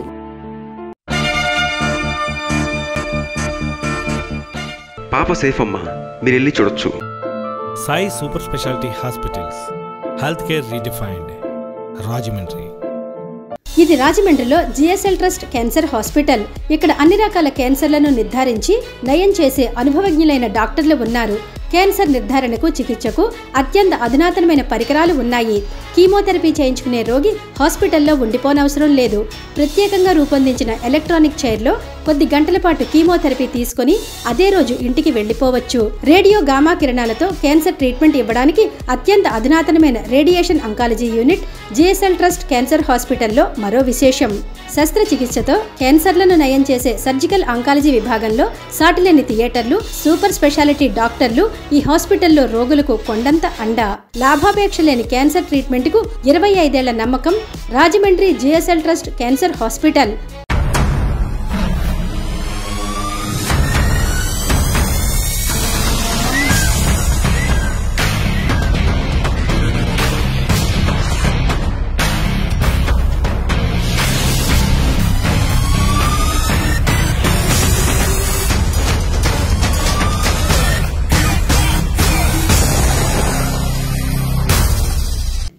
CP Reddy Hero main road T Nagar Rajahmundry. Cell double seven nine double seven double six three eight nine. Shanti PVC and HDPE pipes blue casing pipes Astral CPVC pipes Jal Cera Shanti pipes tiles and sanitary Rangachari street T Nagar Rajahmundry. నేను డాన్స్కి పనికిరానంట. ఏ? ఎందుకని? ఈ మధ్యన dance చేస్తూ చేస్తూ సడన్గా పడిపోతున్నాను. దీనికి సరైన solution? Sai super speciality hospitals health care redefined Rajahmundry. ఇప్పుడు ఇక్కడే మీ గురువులు తరగతి గదిలో గణపతి గారు అబ్బాయి ఉన్నాడు పాఠం జాగ్రత్తగా చెప్పాలి అనుకుంటూ వచ్చేవారు అని అదే అదే వేళాకోళంగా అది మాటలు చెప్పే మాట కానీ వచ్చారా లేదా అని అడిగేవారు. అతను వస్తే పాఠం చెప్తాను అతను రాకపోతే ఇవాళ పాఠం వద్దులే రేపు చెప్తానని ఎవ- అన్న సంఘటనలు అయ్యాయి. అంటే శ్రద్ధగా చదువుతున్నాడు అతనికి మళ్ళీ ఒక పాఠం పోకూడదు అనేటువంటి అనుగ్రహ బుద్ధితో చేసిందే తప్ప అతను వస్తే అనే మాట కాదు అతను వస్తేనే పాఠం చెప్తాను అనేటువంటి రోజులు ఉండేవి. పైగా మేము చదువుకున్న రోజుల్లో మాకు సహాధ్యాయులు చాలా తక్కువ మంది ఉండేవారు. కొన్ని సందర్భాల్లో ఏమయ్యా నువ్వు రేపు వస్తావా పాఠానికి? వస్తానంటే నేను పని మానుకుంటాను ఇక్కడ పాఠం చెప్తాను. లేదా నువ్వు రాకపోతే నేను ఎక్కడైనా వెళ్ళి పని చూసుకుంటాను అన్న రోజులు కూడా ఉన్నాయి గురువులు. లేదా అంత ప్రేమగా వాళ్ళు చెప్పారు కనుక ఆ విద్య మనకి అందుబాటులోకి వచ్చింది. అనుగ్రహం సరస్వతి కటాక్షం వచ్చింది. గురుకు అనుగ్రహానికి గొప్ప స్థానం అండి. భగవద్దే భగవంతుడు శంకరాచార్య స్వామి వారి రూపంలో బట్టి ఆయన చెప్పిన మాట ఏంటి అంటే సద్గురువుకి దృష్టాంతమే లేదు అని. గురువు లాంటి మరో మనిషి లేదు. గురువు గురువే. గురువుతో సమానంగా పోల్చడానికి తగినటువంటి మరో వస్తువు లేదు. అలాంటి పుష్కలంగా గురు కటాక్షం నా మీద లభించింది నాకు. అంచేత వారి ఆశీర్వచనాలే ఈ అభివృద్ధికి అంతటికీ కారణాలు. విద్యాబోధన చేసిన గురువులే. దరిమిలా మీరు వారికి గురువయ్యి ఆయన శిష్యులుగా ఆయనకి పాఠాలు చెప్పారని చెప్పుకోండి అవునంటే అది బాగా తర్కం చదువుకున్న రోజుల్లో నాకు నేను కాలేజీలో పనిచేసి ఉన్నప్పుడు నాకు అధ్యాపకులుగా ఉండేవారు పురుషోత్తమ శాస్త్రి గారు అని ఆయన. నాకు తర్కం మొదలుపెట్టి చెప్పేవారు. అది అయిన తర్వాత ఉత్తర గ్రంథాలు బాగా ఉదాత్త స్థాయిలో ఉండేటువంటి చాలా ఉద్దండ గ్రంథాలన్నీ ఉంటే వారిని నేను చదివేటప్పుడు నాతో కూడా ఆయన ఉండేవారు. మళ్ళీ ఆయనకి అప్పటికే డెబ్బై ఏళ్ళు వయస్సు ఉండేది చాలా వయస్సు అయిపోయిన తర్వాత. మరి చదువుతున్న తర్వాత అప్పటికి వారికి ఈ క్వాలిఫికేషన్స్ అవి ఉండేవి కాదు పరీక్షల కోసం వాళ్ళకి చదివిన వాళ్ళు కాదు వాళ్ళు. తర్వాత కంపల్సరీగా వాళ్ళకి క్వాలిఫికేషన్ ఎక్వైర్ చేయాల్సిన పరిస్థితి వస్తే వారికి అప్పుడు ఏవో కొన్ని పాఠాలు చెప్పడం అనే మాట కాదు వారికి వినిపించడం వారికి ఏదో కొంతవరకు మా సేవ చేయడం అనేది తప్ప ఆయన ఆయన అనేవారు చమత్కారంగా వాడు నాకు విద్యార్థి సహాధ్యాయి స్నేహితుడు గురువు అనే వేళాకోళంగా అనేవారు తప్ప గురువులకి పంగనామాలు పెట్టేంత పరిస్థితి మనకేం లేదు. గురువులు గురువులే ఎప్పుడూను. వారి అనుగ్రహం మనకి ఎప్పుడూ కావాలి. కానీ ఒకటి రెండు పుస్తకాలు ఇంకొక అదృష్టం మీరు ఈ సందర్భం వచ్చింది కనుక నేను గుర్తు చేసుకుంటాను. మహామహోపాధ్యాయులు చాలా గొప్ప తార్కికులైనటువంటి మా గోడా సుబ్రహ్మణ్య శాస్త్రి గారి దగ్గర నేను వ్యుత్పత్తివాదం చదువుతూ ఉంటే మహామహోపాధ్యాయ పేరు సూర్యనారాయణ శాస్త్రి గారు పక్కన కూర్చుని వినేవారు. అలాగే పేరు శాస్త్రి గారి దగ్గర నేను మంజూష చదువుతూ ఉంటే మా గురువుగారు గోడా శాస్త్రి గారు పక్కన కూర్చుని వినేవారు. అంటే వాళ్ళ మధ్యలో ఎంతటి సౌహార్దం ఉందో అది గమనించాలి మనం ఆయన పాఠం చెప్తూ ఉంటే నేను వినేది ఏంటని కాదు. ఆ రంగంలో వారి నిష్ణాతులు వ్యాకరణంలో ఆయన నిధి తర్కంలో ఈయన నిధి. ఆయన ఏం చెప్తారో విందాం అనేటువంటి అలాంటి పెద్దలు ఇద్దరి దగ్గర నేర్చుకునేటువంటి అవకాశం నాకు దక్కింది. ఒక చిన్న సన్నివేశం ఒకటి వచ్చింది విశాఖపట్నంలో. గురువుగారు ఒక నయర్థ విచారం దగ్గర మా గురువుగారు గోడా శాస్త్రి గారికి పేరు సూర్యనారాయణ శాస్త్రి గారికి అభిప్రాయ భేదాలు వచ్చాయి. ఇద్దరి దగ్గర నేను చదువుకున్నాను. ఇద్దరు వారి వారి అభిప్రాయాలు చెప్పారు. కొంచెం అది అభిప్రాయ భేదాలు వాదం మీద విషయం మీద ప్రధానంగా పెట్టుకుని ఏదో వ్యాసాలు రాయటం అది బాగుంది ఇది బాగుంది అనే మాటలు వచ్చాయి.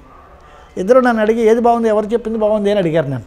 అని అంటే నేను చెప్పింది ఏంటంటే శంకరాచార్య స్వామి వారు విద్య వ్యాసుల వారు వాదం చేస్తున్నప్పుడు పద్మపాదుడు అన్నాడండి మాట శంకర శంకర సాక్షాత్ వ్యాసో నారాయణో హరి తయోర్ వివాదే సంప్రాప్తే కింకర కింకరిష్యతి అన్నాడు. మీరు చెప్పింది నాకు అర్థమైంది. వారు చెప్పింది అర్థమైంది. అది బాగుందా బాగోలేదా అనడానికి నేను సరిపోనండి. అంచేత మీరిద్దరు చెప్పింది అర్థమైంది తప్ప దీనిలో ఏది బాగుంది అనడానికి నేను సరిపోనండి అని చెప్పాను గురువుగారికి ఇద్దరు సంతోషించి ఆశీర్వాదం చేశారు. పోన్లే నా మతం చెప్పావు కదా నీకు తెలిసింది కదా అని. జత తర్క మతంలో మా శాస్త్రులు గారు చెప్పింది. వ్యాకరణ మతంలో సూర్యనారాయణ శాస్త్రి గారు చెప్పింది. అది వారి దాని స్థానంలో వారి పూర్తి అధికారంతో చెప్పే మాటలు. అది ఏది బాగుంది అది బాగుంది ఇది బాగుంది అది తక్కువ తప్పు అనే పరిస్థితి మనం ఎప్పుడు తీసుకురాకూడదు. అలాగా అందరి అభిమానం నా మీద ఉంది. దానివల్లే ఈ రకమైనటువంటి గౌరవాలన్నీ వచ్చాయంటే అది గురు కటాక్షంగానే నేను భావిస్తాను తప్ప నా ప్రతిభ అని మాత్రం నేను అనుకోను. మీరు అదే గౌతమి ఓరియంటల్ విద్యాపీఠంలో చదువుకుని అక్కడే తర్కాలతో పాటు తర్కశాస్త్రంలో ప్రావీణ్యులు అయ్యారు వేదాంత వేదాంతంలో. అయ్యారు వేదాంతంలో అయ్యారు మీమాంస ఇవన్నీ ఒకటి కాదు. ఇన్ని శాస్త్రాల్లో మీరు ఎదిగిపోయిన తర్వాత కూడా మళ్ళీ అదే సంస్థలో సుదీర్ఘకాలం ప్రధాన అధ్యాపకులుగా ప్రిన్సిపాల్గా పనిచేసే అవకాశం కూడా మీకు దక్కింది. ఇవన్నీ చాలా అరుదైన ఘట్టాలు ఇలాంటివి ఎవరికో అవునండి అది అరుదంటే నిజమే ఇతరత్ర వేరే వేరే విశ్వవిద్యాలయాల్లో ప్రొఫెసర్ పోస్టు ఆఖరికి వైస్ ఛాన్సలర్ పోస్టు కూడా వచ్చాయి. కానీ మా నాన్నగారు మా కుర్రాళ్ళందరూ రాజమండ్రిలో ఉండాలి అని చిన్నప్పుడు పెట్టినటువంటి బీజం మనసులో ఉండిపోయింది. తర్వాత మా అమ్మగారు పెద్దవారు అయిపోయారు ఆవిడ వదిలిపెట్టి వెళ్ళిపోవడం ఎందుకు అని ఆ తండ్రి గారి మాట తల్లి సేవ ఈ రెండు మనసులో పెట్టి ఏదో ఉద్యోగం వచ్చింది కదా ఇక్కడే సరిపెడుకుందామనే సంతృప్తితోటి నేను అక్కడే ఉండిపోవడం జరిగింది. లేదా వేరే వేరే విశ్వవిద్యాలయాల్లో రకరకాల పదవులు వచ్చేవి. అబు ఎలా ఉండేదో అది తెలియదు. కానీ రాజమండ్రిని వదిలి వెళ్ళలేదు అని నేను ఎప్పుడూ చింతించట్లేదు. రాజమండ్రిలో ఉండి నేను పాడైపోయాను ఎదగలేదు అనేటువంటి భావన నా మనస్సులో ఏమాత్రమూ లేదు. ఊళ్ళో ఉన్న మనకు వచ్చిన రావాల్సిన గౌరవం వచ్చింది రావాల్సిన అభివృద్ధి వచ్చింది. అక్కడెక్కడో వైస్ ఛాన్సలర్గా వచ్చినంత మాత్రాన మనకు వచ్చేటువంటి పెద్ద కిరీటం ఏం లేదు. ఇప్పుడు మనకు వచ్చే నష్టం ఏం లేదు. అంచేత నాన్నగారు ఈ ఊళ్ళోనే పిల్లలందరూ ఉండాలి అని మొదట్లో అన్నప్పుడు బెనారస్ హిందూ యూనివర్సిటీలో నాకు అపాయింట్మెంట్ వచ్చిందండి. అప్పుడు పంపలేదు మా నాన్నగారు. అది మనసులో గట్టి ముద్ర పడింది. అంచేత ఆయనకి ఇష్టం లేదు కదా వెళ్ళడం మనం ఇక్కడే ఉందాం అనేటువంటి భావం. తర్వాత మా తల్లిగారు వృద్ధురాలు తొంభై ఆరు ఏళ్ళ వరకు బతికారు. ఆవిడని సేవ చేసుకోవడం ఉంటుంది కదా. ఎంత వస్తే ఏంటి దీనికి అందం ఏమిటి? ఇప్పుడు మీరు పదవీ విరమణ చేసిన తర్వాత ప్రిన్సిపాల్గా పదవీ విరమణ చేసిన తర్వాత కూడా నాకు తెలుసుండి రెండు విశ్వవిద్యాలయాలు. తిరుపతి తిరుమల తిరుపతి దేవస్థానం వేద విశ్వవిద్యాలయం కంచి- కంచి కంచి విశ్వవిద్యాలయం. అందరూ కూడా మిమ్మల్ని వైస్ ఛాన్సలర్గా రమ్మని అవును. సాధారణంగా ఈ వైస్ ఛాన్సలర్ పదవి కోసం ఈ రోజుల్లో విపరీతమైన పైరువీలు చేసే రోజులు ఇవి. అలాంటి రోజుల్లో నేను మాతృసేవ చేసుకుంటాను మీరు ఎప్పుడు పిలిచినా వస్తాను అని చెప్పగలిగారు మీరు. ఈ నేపథ్యం ఇప్పుడు మీరు చెప్తున్న దాన్ని బట్టి నాన్నగారి ముద్ర బలమైన ముద్ర వల్ల మీరు చెప్పగలిగారు. రెండోది దానిలో కూడా అంటే రెండు పాయింట్లు ఉంటాయండి ప్రతిదానికి మాతృసేవ అని ఒకటి పరమార్థం. రెండోది తమిళనాడులో మనకి తమిళం రాకుండా అక్కడ వెళ్ళి వైస్ ఛాన్సలర్గా మనం దాన్ని సరి అయినటువంటి న్యాయం చేయలేం అనేటువంటి ఒక భాషా సమస్య ఒకటి అక్కడ ఉంది. వేద విశ్వవిద్యాలయానికి మిత్రులు అడిగారు. అడిగిన తర్వాత రకరకాల అధికారులు వస్తారు. వారికి వేదం మీద ఉండేటువంటి అభిమానాలు అభిప్రాయాలు ఎలా ఉంటాయో తెలియదు వాటిల్లో మనం అభిప్రాయాలని పంచుకోవడం అందరికీ ఒకే రకమైనటువంటి అవగాహన కలిగి ఉండడం కష్టం అవుతుంది. అనే ఉద్దేశంతో ఒక రకంగా దాన్ని నిర్వహించడానికి కొంచెం సుముఖత లేకపోవడం ఒకటి మాతృసేవ ఒకటి రెండు ప్రధానమైన కారణాలుగా నేను ఇక్కడే ఉండిపోవడం జరిగింది. మీరు ఇక్కడ చెప్పినప్పుడు మళ్ళీ ఒక్కసారి నాన్నగారి దగ్గరికి పెడుతున్నాను జగన్నాథ గణపాటి గారు ఆంధ్రదేశంలో ఆంధ్ర లయతోటి అరవ దేశంలో అరవ లయతోటి వేదం చెప్పేవారు అని కూడా అంటారు. ఎంత వేగంగా చెప్పాలన్నా ఆయనే. తమిళనాడులో అందరూ చాలా సావకాశంగా నిదానంగా చెప్తారు. కొంతమందికి ఏంటంటే బాగా వేగంగా చెప్పేటువంటి వాళ్ళు మెల్లిగా చెప్పలేరు. బాగా మెల్లిగా చెప్పేవాళ్ళు అంత వేగంగా చెప్పలేరు. ఆయన దగ్గర రెండు రకాల నేర్పు ఉంది. ఎలా ఎవరు ఎవరు ఎలాంటి వాళ్ళు అయితే వాళ్ళతో పాటు కలిసి దాన్ని చక్కగా చెప్పి సభని రక్తి కట్టించేటువంటి స్థితి ఉండేది ఆయన దగ్గర. గొప్ప గొప్ప ఉద్దండ పండితులు ఉంటే వాళ్ళ స్థాయిలో వాళ్ళతోటి చెప్పే విధానంగా ఉండేది. సామాన్యమైనటువంటి పరిధిని జనం అందరూ ఉంటే వాళ్ళతోటే కలిసి శుభ్రంగా మంచి రక్తి కట్టించేలాగా వేదసభ చేసేవారు ఆయన. ఎవరు ఎలా చెబితే వాళ్ళతో పాటే ఆ ధ్వనితోటి కలపడం అనేది ఆయనకి అలవాటుగా ఉండేది. అంచేతనే దక్షిణ దేశంలో తమిళనాడు రాష్ట్రంలో కూడా ఆయనకి మంచి పేరు ఉండేది. గణపాఠి గారు అంటే వారితోటి ఉండేది. అలాగే కాంచీ కామకోటి పీఠంలోను శృంగేరి శారదా పీఠంలోను కూడా ఆయన ఆ ఘనపాఠం చేతే వాళ్ళందరినీ ఆకర్షించారు. ప్రస్తావించాల్సి వచ్చిందంటే మీరు కేవలం భాష కోసం వెళ్ళలేదు అనేది ఒక మిష మాత్రమే చెప్పడం మీరు మిష మాత్రమే. అభిమానం అనుకోండి. ఎందుకంటే మీకు భాషలో మీకు ఇదే సంస్కృతంలో ఇదైన తర్వాత మీరు ఒకసారి చెప్పారు ఏదో సందర్భంలో అడిగితే సంస్కృతం వస్తే ప్రపంచాన్ని జయించినట్టే అన్ని భాషలు వచ్చేస్తాయి. వీరు సులువుగా నేర్చుకోవచ్చు. చాలా సులభంగా నేర్చుకోవచ్చు. సంస్కృతం కనుక మంచి పట్టు వస్తే తక్కువ భాషలని సులభంగా నేర్చుకోవడానికి అవకాశం ఉంటుంది.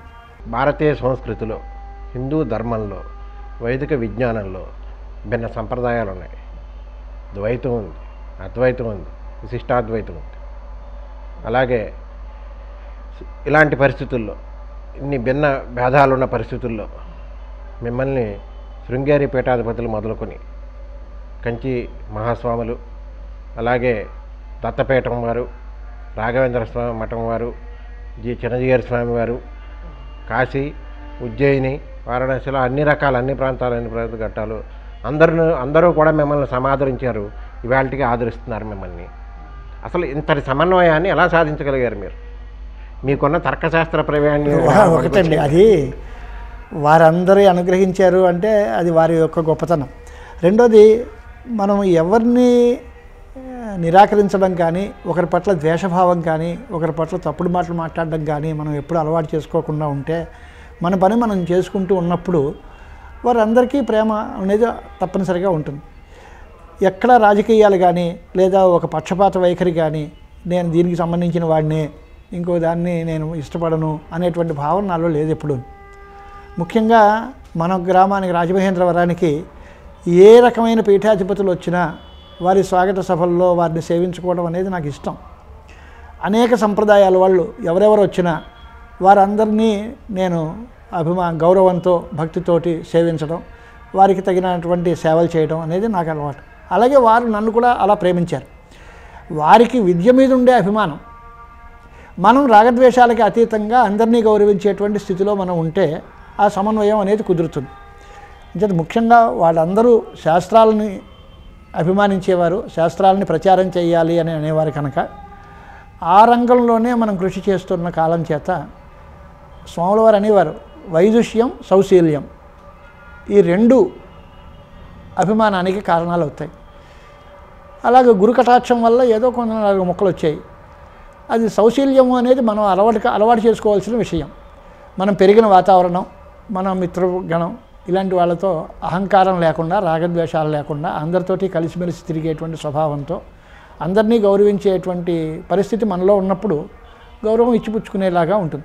అంచేత వారందరూ పెద్దలు కనుక శాస్త్రం మీద ఉండేటువంటి అభిమానాలతో నన్ను ఆదరించారు. వారందరికీ ఎప్పుడూ పాదాభివందనాలు చేస్తూనే ఉంటాను. వారి అనుగ్రహం నాకు పరిపూర్ణంగా లభించింది. కొంచెం చమత్కారంగా చెప్పుకోవాలంటే బాబాయ్ ఘనాలంకార కొడుకు దర్శనాలంకార తండ్రి ఘనపాటి చక్రవర్తి కొడుకు శాస్త్రనిధి పితృదేవులు వేద సమ్రాట్ పుత్రులు వేదాంత సమ్రాట్ అలాగే ఇరువురు కూడా రాష్ట్రపతి సత్కారాలు పొందారు. ఇరువురు పౌర సమ్మానాలు అందుకున్నారు. ఏమిటి ఇది? ఇదంతా చూస్తుంటే ఈశ్వర కటాక్షం అండి. ఈశ్వర కటాక్షం. నేను చేసుకున్న పుణ్యం వారి కడుపులు పుట్టడం. సద్గురువులు లభించడం. తండ్రి గారి తపఫలం గురువుల ఆశీర్వచనం వల్ల నాకు నాకు ఏవైనా వచ్చాయి అంటే వచ్చాయి. ఆయనకి జగన్నాథ స్వామి వారి యొక్క అనుగ్రహం శివకటాక్షం వారి తండ్రి గారి ఉపదేశ బలం ఆయన చేసినటువంటి నిరంతర వేదోపాసన ఆయనకి అంత గౌరవాలని తెచ్చిపెట్టింది. నేను ఆయనతో పోల్చుకునేటువంటి వాడిని కాదు కానీ శృంగేరి శారదా పీఠాధీశ్వరులు అభినవ విద్యాతీర్థ మహాస్వాముల వారికి మన ఆయన గారి వెంటలో అపారమైనటువంటి ప్రేమ అత్యంత ప్రియ శిష్య అనే పేరుతో పేరుతో ఘనాలంకార బిరుదు వారు ఇచ్చారు ఈనాటి శారదా పీఠాధీశ్వరులు జగద్గురు భారతీతీర్థ మహాస్వాముల వారికి నా మీద అటువంటి విశేష అనుగ్రహం ఉండి చెన్నైలో దర్శనాలంకార బిరుదు ఇచ్చారు. అది కేవలం కాకతాళీయమే తప్ప నిజానికి తండ్రికి ఇస్తే కొడుకు ఇవ్వాలి అంటే మా అన్నదమ్ములు మేము ముగ్గురు ఉన్నాం. మా అన్నగారికి ఇవ్వచ్చు మా సోదరుడికి ఇవ్వచ్చు. అది అది మనకేం కాదు నాకే రావాలని కూడా కాదు. అది వారి అనుగ్రహం. శాస్త్రం యొక్క మర్యాద. వేదము శాస్త్రము రెండు రెండు కళ్ళు. ఒక చోట కూడా మనకి చెబుతూ వేదం శివస్వరూపం అయితే శాస్త్రం పార్వతీ స్వరూపమని పార్వతీ పరమేశ్వరులు అర్ధనారీశ్వర స్వరూపంగా ఉంటారని. వేద రుద్రో వేద ఉమా శాస్త్రం తస్మై తస్యై నమో నమ అని. స్వాములవారి చమత్కారంగా కూడా ఒకసారి పేరూరులో కంకణ సన్మానం చేస్తున్నప్పుడు ఆయన గురించి ఏదో ప్రస్తావన వచ్చినప్పుడు ఆయన పెద్ద వేద పండితులని "ఆ, అది వేదం ఇది శాస్త్రం అన్నారు. అంచేత చదువుకునే అవకాశం వచ్చింది. దాంట్లో గురు కటాక్షం లభించింది. దానివల్ల గుర్తింపు వచ్చింది. వారందరి యొక్క అభిమానం. తండ్రికి కొడుక్కి రావాలి అనేది నియమము లేదు. రాకూడదని నియమం లేదు. చాలామంది విద్వాంసులు వాళ్ళ పుత్రులకి ఎక్కువగా కూడా గౌరవాలు పొందిన వాళ్ళు ఉన్నారు. తండ్రిని మించిన కొడుకులు ఉన్నారు. అలాగే తండ్రి గారికి పూర్తి గౌరవాలు వచ్చినా కొడుకులకి అందకపోయినా పండిత పుత్రులుగా మిగిలిన వాళ్ళు ఉంటారు. చేత ఈశ్వర కటాక్షం మనం ఏం చెప్పలేము. వారి వారి పూర్వజన్మ సంస్కారం చేత కలిగేటువంటి ప్రయోజనాలు తప్ప ఇదంతా తండ్రి కొడుకు అనేటువంటి బంధం అక్కడ ఉపయోగపడదు. పలానా వారి అబ్బాయి అనేటువంటి భావంతో వచ్చిన బిరుదులైతే అది మనకేమీ గౌరవప్రదం కాదు. అంచేత చదువుకున్న విద్యను బట్టి వచ్చింది అంటేనే గౌరవం కానీ ఏదో వారి అబ్బాయి కనుక ఇస్తున్నామండి అంటే అది మనకి గౌరవం ఇచ్చినట్టుగా వ్యవహారం కూడా కాదు. అయ్యా, దేశంలో ఎక్కడ వేద సభలు జరిగిన వేదాంత సమ్మేళనాలు జరిగిన వాటికి ఆధ్యక్షం వహించే అవకాశాలు మీకు చిన్న వయసు నుంచే లభిస్తున్నాయి. ఇంకా మీరు అదే దీంట్లో ఉన్నారు. వీటిని ఎలా సంభావిస్తాం దీనికి ప్రధాన కారణం ఇందాక కూడా చెప్పాను నేను మీకు. ఒకటి శాస్త్ర పండితుల సంఖ్య బాగా గణనీయంగా తగ్గిపోయింది. ఈ రోజుల్లో వేదం చదివే వాళ్ళ సంఖ్య తగ్గింది. అది వందలలో సుమారు ఒక ఐదు ఆరు వందల మంది వేద పండితులు ఉంటే శాస్త్ర పండితులు పట్టుకుని యాభై మంది కూడా దేశవ్యాప్తంగా లేని పరిస్థితి. దాంట్లో ఒక శాస్త్రంలో బాగా నిష్ణాతులైన వాళ్ళు ఉంటారు కానీ రెండు మూడు శాస్త్రాలు చదువుకున్నటువంటి వాళ్ళు తక్కువ మంది ఉంటారు. వాళ్ళతో పాటు కాస్త మాటకారితనం అన్నట్టుగా కొంచెం నలుగురితోటి మాట్లాడేటువంటి లక్షణం సామర్థ్యం అన్నాను నేను. కొంతమందికి నలుగురితోటి మాట్లాడేటువంటి అలవాటు ఉంటుంది. కాస్త ఉపన్యాసం చెప్పడమో నలుగురితో మాట్లాడడమో ఏదో ఒక అభ్యాసం ఉంటుంది. కొందరు మౌనంగా కూర్చోవడము ఆ దానికి మాత్రమే సబ్జెక్టుకి కన్ఫైన్ అయిపోయి ఉండడం అనే లక్షణం ఉంటుంది. ఇలాంటివన్నీ కూడా మనకు పరిగణనలో తీసుకుంటే పెద్దవాళ్ళతో సాహచర్యం ఉండటం వల్ల ఆ పెద్దతరం అంతా తగ్గిపోయిన తర్వాత ఆ పెద్దతరంతో సంబంధం ఉన్న వ్యక్తిని అవ్వడం వల్ల నాకు ఈ గౌరవాలన్నీ వచ్చాయని నేను అనుకుంటాను. పెద్ద ఇప్పుడు ఈ మరీ వాళ్ళ పిల్లలకి పెద్దవాళ్ళ గురించి తెలియదు. పెద్దవాళ్ళతో కలిసిమెలిసి తిరగలేదు. నాకు పట్టిన భాగ్యం ఏంటి అంటే చాలా ఉత్తమోత్తమ స్థాయిలో భారతదేశంలో పేరెన్నికగన్న పండితులు అందరితోటి కలిసి తిరిగేటువంటి అవకాశం వచ్చింది. వారి దగ్గరతో బాగా దగ్గరగా ఉండి వారితో వారి సేవ చేసుకునేటువంటి భాగ్యం కలిగింది. అంచేత వాళ్ళ వాళ్ళ తాలూకు గుర్తింపు వాళ్ళతో కలిసి తిరిగినటువంటి ఒక సన్నివేశం వల్ల ఆ స్థానంలో నన్ను కూర్చోబెట్టి అప్పుడు జరిగినవి ఏమిటి ఇప్పుడు జరగదానికి ఏమిటి దానికి దీనికి సన్ని ఒక వారధిగా పాత వాళ్ళకి కొత్త వాళ్ళకి మధ్యలో ఒక వారధిగా నన్ను వాళ్ళందరూ ప్రేమిస్తూ ఉండటం. ఆ సందర్భంలో ఏజ్ గ్రూప్లో కూడా ఇదివరకు నేను చెప్పాను కదా పెద్ద తరము తర్వాత తరము అంటే మధ్యలో నా వయసులో ఉన్నటువంటి పండితులు కొంతమంది తగ్గారు. దాంట్లో పది మందితోటి కలిసిమెలిసి తిరగడం అదొక కారణంగా శాస్త్ర సభల్లో మనని తీసుకోవడం మీ మీరు నడపడం అని. దీనికి ప్రధానంగా శృంగేరి జగద్గురువుల వారు సపరికర అద్వైత వేదాంత సభల్లో నాకు ఇచ్చిన ప్రోత్సాహం. దానికి సంచాలకుడిగా నన్ను అట్టపెట్టడం సభలు నువ్వు నడిపించు అనేటువంటి ఆదేశం చేయటం. మేము శృంగేరి గణపతి వాక్యార్థ సభల్లో పాలు పంచుకోవటం. అక్కడ శ్రీవారికి నా మీద ఉండేటువంటి ప్రేమ అనుగ్రహం అవన్నీ చూస్తూ ఉంటే దానివల్ల శారదాపీఠ పండితుడు అనేటువంటి పేరుతోటి ఒక విశేషమైనటువంటి ఒక ప్రాచుర్యం లభిస్తుంది. ఔత్రాహికులు కూడా సమానంగా ఆదరిస్తున్నారు వారందరూ కూడా ప్రధాన కారణం ఏంటి అంటే వారందరూ శృంగేరి వచ్చినప్పుడు అక్కడ ఉండే కాశీ పండితులందరూ కూడా శృంగేరి సభల్లో మేమందరం కలిసిమెలిసి తిరగడం అక్కడ ఉండేటువంటి పెద్ద విద్వాంసులందరూ కూడా శృంగేరిలో పరిచయాలు పొందడం దాని తద్వారా ఆయన వస్తే బాగుంటుంది అనేటువంటి అభిమానంతో స్నేహంతో చేసిన మాట కానీ ఇప్పుడు కాశీ పండితుల్ని మించిపోయిన పండితులు నేనని అనే మాట కాదు. అలాగని అక్కడ పండితులు లేరని కాదు. ఒక స్నేహం నిర్వహణలో మనకు అనుకూలంగా ఉంటారు. అంటే ఒకళ్ళ మీద ఉరగొమ్ము పెట్టి దేశాభిమానమో ప్రాంతీయాభిమానమో వ్యక్తిగత ద్వేషాలు అవి లేకుండా పక్షపాతం లేకుండా సర్వ సమదృష్టితోటి ఉంటాడు అనేటువంటి భావన నా మీద ఉంది. కానీ మేము మాత్రం గోదావరి తీరం నుంచి విశేషించి రాజమహేంద్రవరం నుంచి ఒక గొప్ప శాస్త్ర పండితుడు శాస్త్రనిధి శాస్త్రాలంకార దర్శనాలంకార అంతటి గొప్ప వేదాంత సమ్రాట్ వారణాసిలో వెళ్ళి గంగానదీ తీరాన జరిగే వేద సమ్మేళనాల్లో సంస్కృత సమ్మేళనాల్లో అధ్యక్షం వహిస్తున్నాడు అంటే ఇది మా అందరికీ గర్వకారణంగా మేము సంభావించాం. కృతజ్ఞండి మీ అభిమానానికి ధన్యండి ఈ మొత్తం ప్రస్థానంలో అయ్యా మీకు బాగా ఆనందం కలిగించిన ఘట్టం ఏది? అలాగే మిక్కిలి విషాదం మిగిల్చిన ఉదంతం ఏంటి? ఎన్నిసార్లు చెప్పాలన్నా భారత రాష్ట్రపతి సత్కారం అంటే చాలా గౌరవప్రదం కదా. దాన్ని తక్కువ చేయడం కాదు కానీ ఆ ఆనందానికి మించిన ఆనందం సమస్త విద్వన్ మహాసభలో పెద్ద అందరు పండితుల సమక్షంలో చెన్నై నగరంలో జగద్గురు భారతీతీర్థ మహాస్వాముల వారు దర్శనాలంకార బిరుదు ప్రసాదం చేయడం అది జీవితంలో మర్చిపోలేని ఘట్టం. ఎందుకంటే ఆయన అక్కడ ఉపన్యాసం చెబుతూ యాభై ఏళ్ళ క్రితం యాభై రెండు ఏళ్ళ క్రితం మా గురువు గారు బులుసు అప్పన్న శాస్త్రి గారికి దర్శనాలంకార బిరుదు ఇచ్చారు. మళ్ళీ ఇన్నాళ్ళ తర్వాత నేను మళ్ళీ ఇతనికి ఈ బిరుదు ఇవ్వాలని అనుకుంటున్నాను అని ఆయన నోటమిటంటే కళ్ళము నీళ్ళు తిరిగాయి. అంతటి ఆ సభలో మీరన్నట్టుగా కాశీ పండితులు ఉన్నారు దక్షిణాది పండితులు ఉన్నారు కర్ణాటక వాళ్ళు ఉన్నారు తమిళనాడు వాళ్ళు ఉన్నారు ఆంధ్రలో ఉన్నారు అందరూ ఉన్నాం. అప్పుడు వారి అనుగ్రహం నా మీద ప్రసరించింది అంటే అది చాలా విచిత్రమైనటువంటి పరిస్థితి. దానికి ఎప్పుడూ ఆనందాన్ని పట్టపగ్గాలు లేకుండా అనుభవించాను నేను. మరి విషాదకరమైన సన్నివేశం అంటే నా అభివృద్ధికి సర్వాత్మన కారణమై మనసా వాచాకర్మణ నేను నమ్మినటువంటి గౌతమి విద్యాపీఠం. నేను చదువుకోవడానికి కానీ నా ఉపాధికి కానీ నా విద్యకు కానీ అభివృద్ధికి కానీ ఆర్థిక స్తోమతకి కానీ అన్నిటికీ కారణమైనటువంటి గౌతమి విద్యాపీఠం నా కళ్ళ ముందే అలా పాడైపోయింది పోయింది అంటే మాత్రం అది భరించలేని దుఃఖం. దాన్ని కొనసాగించడానికి మన మన ప్రయత్నం మనం చేసాం కానీ కాలం కలిసి రాలేదు. దానికి అది మూతపడిపోయింది అనేటువంటిది అది నిజంగా బాధాకరమైన విషయం. మీరు అన్నట్టుగా ఇంతమంది గొప్ప గొప్ప పండితులందరూ రాజమహేంద్రవరానికి రావడానికి అది కారణం. ఎప్పటికైనా ఈశ్వరుడు అనుగ్రహిస్తే అదే కాకపోవచ్చు అలాంటిదైనా ఒక మంచి సంస్థ రాజమహేంద్రవరంలో పాదుకుని దాని ద్వారా విశేషమైనటువంటి పండితులు మంచి మంచి గొప్పవారు అందరూ రాజమహేంద్రవరానికి వచ్చేటువంటి అవకాశం భగవంతుడు ప్రసాదిస్తే మళ్ళీ చాలా సంతోషిస్తాను. దాన్ని పునరుత్థానం చేయడం అనేది మనకు సాధ్యం కాలేదు. అంచేత అది పోయింది మూతపడింది అనేటువంటి బాధ మాత్రం అది జీర్ణించుకోలేని బాధ.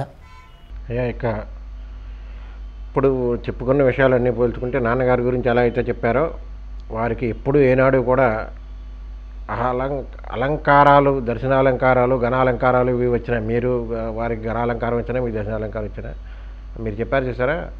ఆ గర్వం అన్నది కానీ ఎక్కడ పొడచూపదు. అది పొడచూపుదనడానికి ప్రత్యక్ష ఉదాహరణ మీ అందరూ కూడా మాలాంటి వాళ్ళందరూ ఏంటంటే మీరు మాతో పాటు కార్యకర్తగా అనేక కార్యక్రమాలు నిర్వహించారు. మీరు నేను గొప్ప పండితుడిని ప్రపంచం గుర్తించిన పండితుడిని అనే మాటను కూడా మర్చిపోయి మా అందరితో పాటు ఒక సామాన్య కార్యకర్తగా పనిచేయడం అనేక సేవా కార్యక్రమాల్లో పాలు పంచుకోవడం ఈ అనుభవం గురించి చాలా మంచి మాట్లాడిగారండి అడిగారండి. మనిషికి ఆనందం నేను గొప్ప పండితుడిని అనుకుంటే ఆనందం రాదు.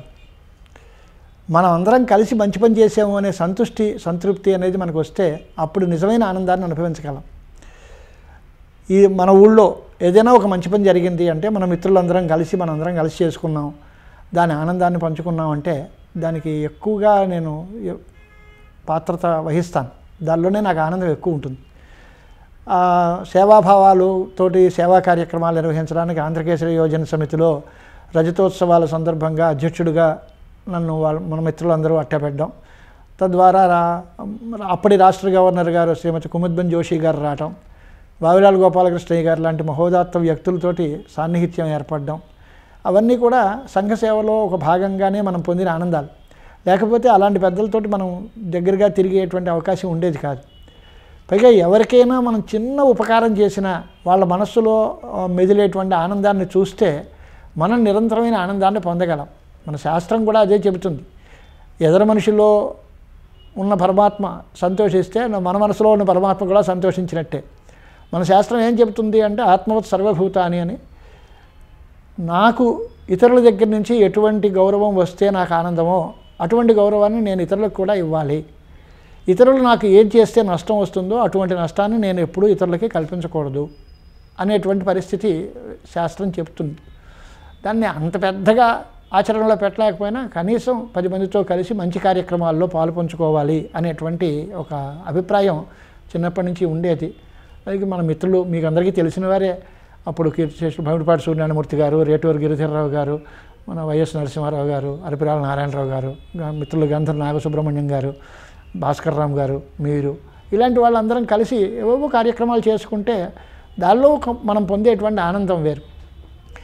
ముఖ్యంగా బుగ్గ పాపయ్య శాస్త్రి గారు త్యాగరాజ నారాయణదాస్ సేవా సమితి కార్యక్రమాలు చేసే రోజుల్లో మా బాల్యంలో ఆయన పళ్ళెం పట్టుకుని రూపాయికి చందాకి తిరిగినటువంటి మనకి కళ్ళారా చూసాం మనం. అంత పెద్ద వయసులో ఆయన అంత కార్యకర్తగా తిరుగుతున్నప్పుడు మనం ఎందుకు చేయకూడదు అనేటువంటి పరిస్థితి ఉండేది. డాక్టర్ ఏబి నాగేశ్వరరావు గారు మాకు ఆదర్శ వైద్యులు మా అయ్యగారని అనేవాళ్ళం మేము చిన్నప్పటి నుంచి. ఆయన మాకు ఆ- ఆరాధ్య పురుషుడు ఆయన. ఆయన సేవ చూస్తే కనీసం అచ్చన్న గారు కూడా అనేవాడు మందు ఫ్రీగా ఇస్తాం కానీ స- సీసాలు కూడా ఎక్కడ సప్లై చేయగలం కదా సీసాలు తెచ్చుకోవాలి కదా అనేవారు పాపం. డాక్టర్ గారు అంత ఉదారంగా ఉచితమైన వైద్యం చేయడం సేవ చేయడం మా విద్యాపీఠంలో ఉండే విద్యార్థులకి భోజన సదుపాయం కోసం కోట్లింగాల సత్రంలో భోజనం ఏర్పాటు ఉండేది. ఒకప్పుడు సత్రం తెరవకపోతే విద్యార్థులు బాధపడుతున్నారనే ఉద్దేశంతో ఎక్కడైనా బియ్యం సేకరించి ఇద్దామనే ఉద్దేశంతో డాక్టర్ గారితో అడిగితే గంధం సీతారామాంజనేయులు గారు డాక్టర్ ఏవి నాగేశ్వరరావు గారు ఇద్దరూ రిక్షాలో బయలుదేరి నాతో పాటు కూడా వచ్చి వారు రెండు మూడు బియ్యాలు బస్తాలు బియ్యాలు సం సేకరించి ఆ పిల్లలకి అన్నం పెట్టాలి అని వచ్చారు. వారి స్థాయి అక్కడ. ఈ విద్యార్థులకి బియ్యం ఇవ్వడం కోసం వారి కదిలి రావాల్సిన పని లేదు. నేను వారు ఏదైనా మార్గం చెప్తారేమో అని అడగడానికి వెడితే వెంటనే బయలుదేరి వచ్చారు వాళ్ళిద్దరు కూడా. అదిగో అలాంటి స్ఫూర్తిని మనం పొందినప్పుడు మనం సేవ చేయాలి. స- ఆ సేవలో పొందే ఆనందాన్ని పొందాలి అనేటువంటిది నా మనస్సులో ప్రగాఢంగా పడింది. తద్వారా పీఠాధిపతులు వచ్చినప్పుడు సన్మానాలు పుష్కరాలు ఉత్సవాలు వాగ్గేయకారోత్సవం అలాగే అనేక రకాల శతావధానాలు. నాగపండి శర్మ గారి శతావధానాన్ని ఈ ఊళ్ళో చేయమని డాక్టర్ మన ఎన్విహెచ్ శాస్త్రి గారి సంకల్పం. ఆయన మన అడగడం మీకు అందరికీ తెలుసు. చాలా వైభవంగా జరిగింది ఆనంకళ వెంకటేశ్వర ఆనంద కళా కేంద్రంలో రెండు రోజుల పాటు పండగ వాతావరణం జరిగింది. కొంచెం ఈ మధ్యకాలంలో కొరవడ్డాయని కొంచెం అనుకుంటున్నామని కదా మనం పూర్వం చేసిన కార్యక్రమాలు ఇప్పుడు లేవు. అయినా మళ్ళీ యువతరంలో కూడా కొంతమంది అలాంటి కార్యకర్తలు వస్తే మళ్ళీ కార్యక్రమాలు ఈ ఊళ్ళో జరిగితే చాలా సంతోషంగా ఉంటుంది. అపార పాండిత్యం. అలాగే శాస్త్ర విజ్ఞాన గరిమ వీటికి ప్రతీకలు మీరు.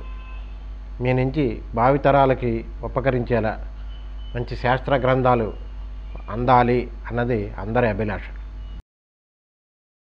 సంతోషం మంచి మాట ఇదివరకు కూడా లోకల్ సార్ అన్నారు మీరు. నాకున్న ఒక గొప్ప దుర్గుణం ఏంటి అంటే కాగితం మీద కలం పెట్టి రాయడం అనేది ఎప్పుడు అభ్యాసం తక్కువ. మొదటి నుంచి కూడా గురుముఖత పాఠం ముఖస్థ విద్యలుగా చదువుకోవడం వల్లించడం నోట్సులు రాయడం ఎప్పుడు అలవాట్లేదు పరీక్షలు రాసినప్పుడు ఎప్పుడో పరీక్షలు రాయడమే తప్ప కాగితం మీద కలం పెట్టడం అనేది అలవాటు తక్కువ. అదొక దురలవాటని నాకు తెలుసు ప్రయత్నం చేస్తాం అనుకోండి. కానీ ఈ మధ్యలో మీరందరూ చేసిన సూచన మేరకు అనేక రకాలైనటువంటి శాస్త్రీయమైనటువంటి విషయాల్ని ఈ మాధ్యమాల ద్వారా రికార్డింగ్గా అనేక మందికి గ్రంథాలు వ్యాఖ్యానాలు చేయటం వాటిలన్నింటినీ రికార్డ్ చేయడం యూట్యూబ్లో రావడం ఇవన్నీ జరుగుతున్నాయి. ఇప్పుడు వేదాంత పంచదశి అని దక్షిణామూర్తి స్తోత్రం మానసోల్లాస వ్యాఖ్యానం అని అలాగే నైష్కర్మ్య సిద్ధి అనేది భీమవరంలో. ప్రసంగాల రూపంలో దాని యొక్క సారాన్ని శాస్త్రీయమైన గ్రంథాల యొక్క రహస్యాలన్నింటినీ కూడా మనం ప్రచారం చేయడం అవన్నీ కూడా రికార్డ్ అయ్యి వాటిని యూట్యూబ్ ద్వారా అందరికీ పంచిపెట్టడానికి కూడా వాళ్ళు ప్రయత్నం చేస్తున్నారు. అలాగే శంకర విజయం మీద ప్రసంగాలు చేయడానికి అవకాశం వచ్చింది. మహా శృంగేరి శారదా పీఠాధీశులు విధుశేఖర భారతీ మహాస్వాముల వారి సన్నిధానంలోనూ అప్పుడు చేసిన ప్రసంగాలు కూడా పది మంది వినడానికి తగినటువంటి వాతావరణం ఈ దృశ్య శ్రవణ మాధ్యమ విధానం వల్ల వచ్చింది. వాటి ద్వారా వచ్చిందని అదొక ఆనందం. తర్వాత వాటినే రికార్డెడ్గా రాసి దాన్ని గ్రంథ గ్రంథస్థం చేయడానికి కూడా కొంతమంది మిత్రులు సహకరిస్తున్నారు చేస్తున్నారు. అలాగా అనతికాలంలో కొంత ముద్రణ కూడా జరుగుతుంది అని అనుకుంటున్నాను.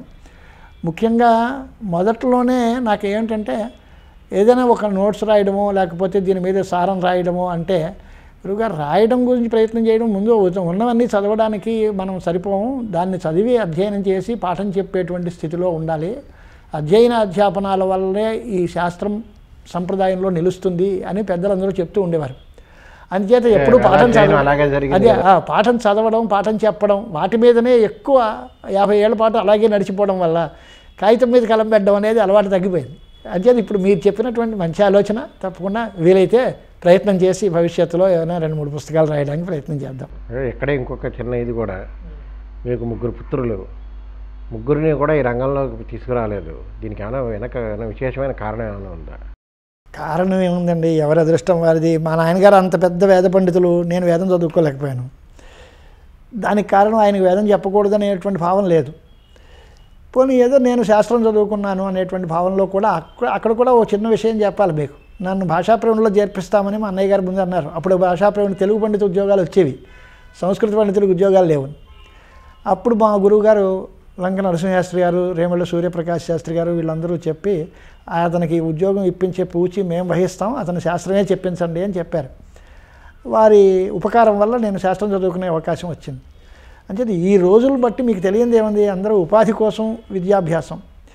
మేము ఓరియంటల్ కళాశాలల్లో పనిచేస్తున్న కాలంలో ఏనాడు ఈ కాలేజీ తీసేస్తారు ఎమాల్గమేషన్ అని రిట్రెంచ్మెంట్ అని కాలేజీలు తీసేస్తామని సంస్కృత పండితుడికి పోస్టులు లేవని ఈ రకమైనటువంటి వాతావరణం ఒడిదుడుకులు తెలిసినప్పుడు పిల్లలకు కూడా ఉద్యోగాలు లేకుండా వాళ్ళు ఏం బాధపడతారు అనే ఉద్దేశంతో వాళ్ళు ఏం చదువుకుంటామంటే అదే చదివించడం జరిగింది. అంచేత పిల్లలకి సంస్కృతంలో టెన్త్ క్లాస్ వరకు సంస్కృతంతో ప్ర పరిచయం ఉంది.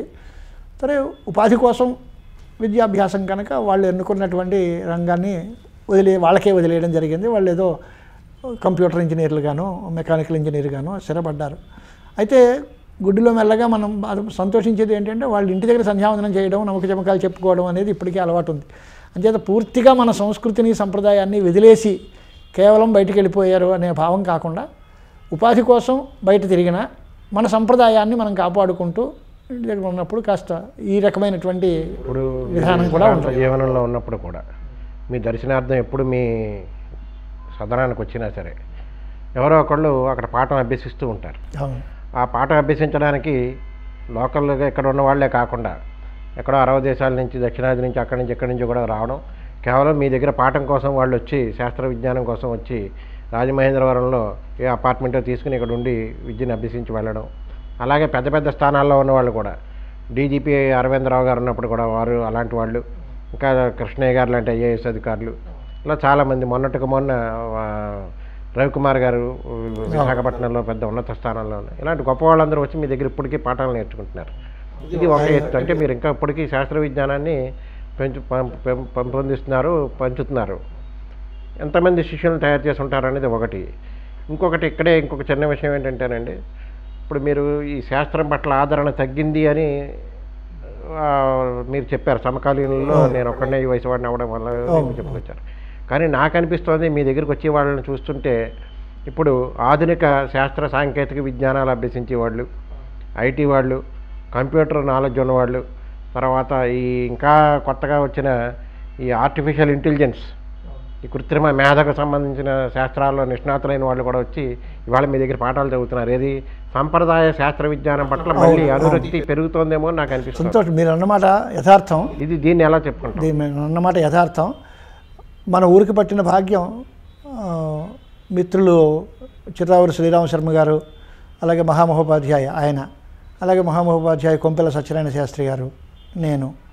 మేము ముగ్గురం పాఠాలు చెప్తున్నాం ఊళ్ళో. చిన్నకాల చిరకాలం నుంచి యాభై ఏళ్ళ బట్టి చెప్తూనే ఉన్నాం. సాధారణంగా పాఠం చెప్పేటువంటి వాళ్ళు ఎక్కడైనా ఉంటే అక్కడికి వెళ్ళి చదువుకోవడం అనేది పిల్లలు ఇష్టపడతారు. అలా పాఠాలు చెప్పేటువంటి వాళ్ళ సంఖ్య గణనీయంగా తగ్గింది. అంచేత ఎక్కడున్నా తప్పనిసరిగా అక్కడికి వెళ్తే పాఠం దొరుకుతుంది అనేటువంటి ఒక భరోసా వాళ్ళలో ఉండటం. కాస్త ఆ పాఠం కూడా ప్రామాణికంగా ఉంటుంది అనేటువంటి నమ్మకం ఉండటం. పెద్దవాళ్ళు ఆమోదించే విధంగా శాస్త్రీయంగా పాఠం జరుగుతుంది అనేటువంటి విధంగా ఈ ఊళ్ళో మా ముగ్గురి దగ్గరికి కూడా విద్యార్థులు వేదభాష్య ప్రసం పాఠాలన్నీ శ్రీరామశర్మ గారు చెప్తారు వ్యాకరణం పాఠాలన్నీ సత్యనారాయణ గారు చెప్తారు తర్కం వేదాంతాల పాఠాలన్నీ నేను చెప్తున్నాను ఇది ఒక మైత్రితోటి మంచి వాతావరణం జరుగుతోంది. ఉత్తరాది మఠాధీశ్వరులు వారి శిష్యుల్ని కూడా పంపించి ఆయన దగ్గర తర్కం చదువుకోండి అని ఇద్దరు శిష్యుల్ని పంపించారు. అలాగే కొంతమంది ఎవరైనా వాళ్ళ వాళ్ళ రంగంలో వాళ్ళు చదువుకున్న తర్వాత ఆ పైన పుస్తకాలు ఏవైనా ఒకటి రెండు పుస్తకాలు కష్టమైన పుస్తకాలు ఉంటే అది ఆయన దగ్గరికి వెళ్ళి చదువుకోండి అని చెప్పి పంపించేటువంటి సన్నివేశాలు ఉన్నాయి. ఇప్పుడు పేరి రవికుమార్ గారి గురించి మీరు చెప్పారు. ఆయన గ్రూప్ వన్ ఆఫీసర్గా సెక్రటరీ జాయింట్ కమిషనర్ హోదాలో రిటైర్ అయిపోయినా ఆయన పద్య విద్యలో డీలిట్ చేసిన ఆయన ఇప్పుడు శుద్ధంగా వ్యాకరణం చదవాలి అనేటువంటి చూపుతోటి రెగ్యులర్గా నా దగ్గర వచ్చి చదువుతున్నారు. సూత్రభాష్యం వేదాంత పాఠం చూస్తున్నారు. అంచేత తర్కం వ్యాకరణం వేదాంతం వీటి మూడిటి మీద ఎవరైనా వస్తే పాఠం చెప్పడానికి నేను కాదు అనే మాట అన్ను. ఒక్క మాట మాత్రం మీకు మనవి చేస్తాను. గురు రుణం తీర్చుకునేదానికి మార్గం ఏమిటి అంటే గురువు మనకి ఎన్ని అక్షరాలు చెప్పారో అన్నీ శిష్యముఖం చేస్తేనే రుణం తీరు లేకపోతే తీరదు. అంచేత గురువుగారు మనకి అంత విద్యని చెప్పారంటే మనం వీలైనంత వరకు వచ్చిన వాళ్ళకైనా పాఠం చెప్పకపోతే మనం చాలా రుణపడిపోతాము అనేటువంటి భావం కలిగిన వాళ్ళం మేమందరం. అంచేత పాఠం చదువుతానని వచ్చిన వాళ్ళకి ఎప్పుడు నువ్వేమిస్తావనే మాట కాకుండా మేమందరం చెప్పే పాఠాలన్నీ ఫ్రీగానే ఉంటాయి మీకు తెలుసు కదా. ఇక్కడికి వచ్చి డబ్బిచ్చి చదివే వాళ్ళు ఎవరో ఉండరు. కానీ అదొక అవకాశం. గురు రుణం తీర్చుకోవడానికి ఇది ఒక అవకాశం. మనకి ఎంత ప్రేమగా గురువులు నేర్పారో అదే అభిమానంతో మనం కూడా మనకు వాళ్ళకి పిల్లలకి పాఠాలు చెప్పాలి. జీవితంలో ఓపికన్నంతకాలం పాఠాలు చెప్పాలి. ఒక మాట మా గురువుగారు గోడా సుబ్రహ్మణ్య శాస్త్రి గారు మూడు రోజులలో ప్రాణం పోతుంది అన్న వరకు కూడా పాఠం చెప్పారు. ఆయన హాస్పిటల్లో ఉన్నది రెండు రోజులు మూడో రోజు వారు పరమపదించారు. అంతవరకు పాఠాలు చెప్తూనే ఉన్నారు అలా అలాగా పరమేశ్వరుడు అలా పాఠాలు చెప్పే అవకాశం నాకు ఇవ్వాలనే మనసారా కోరుకుంటాను.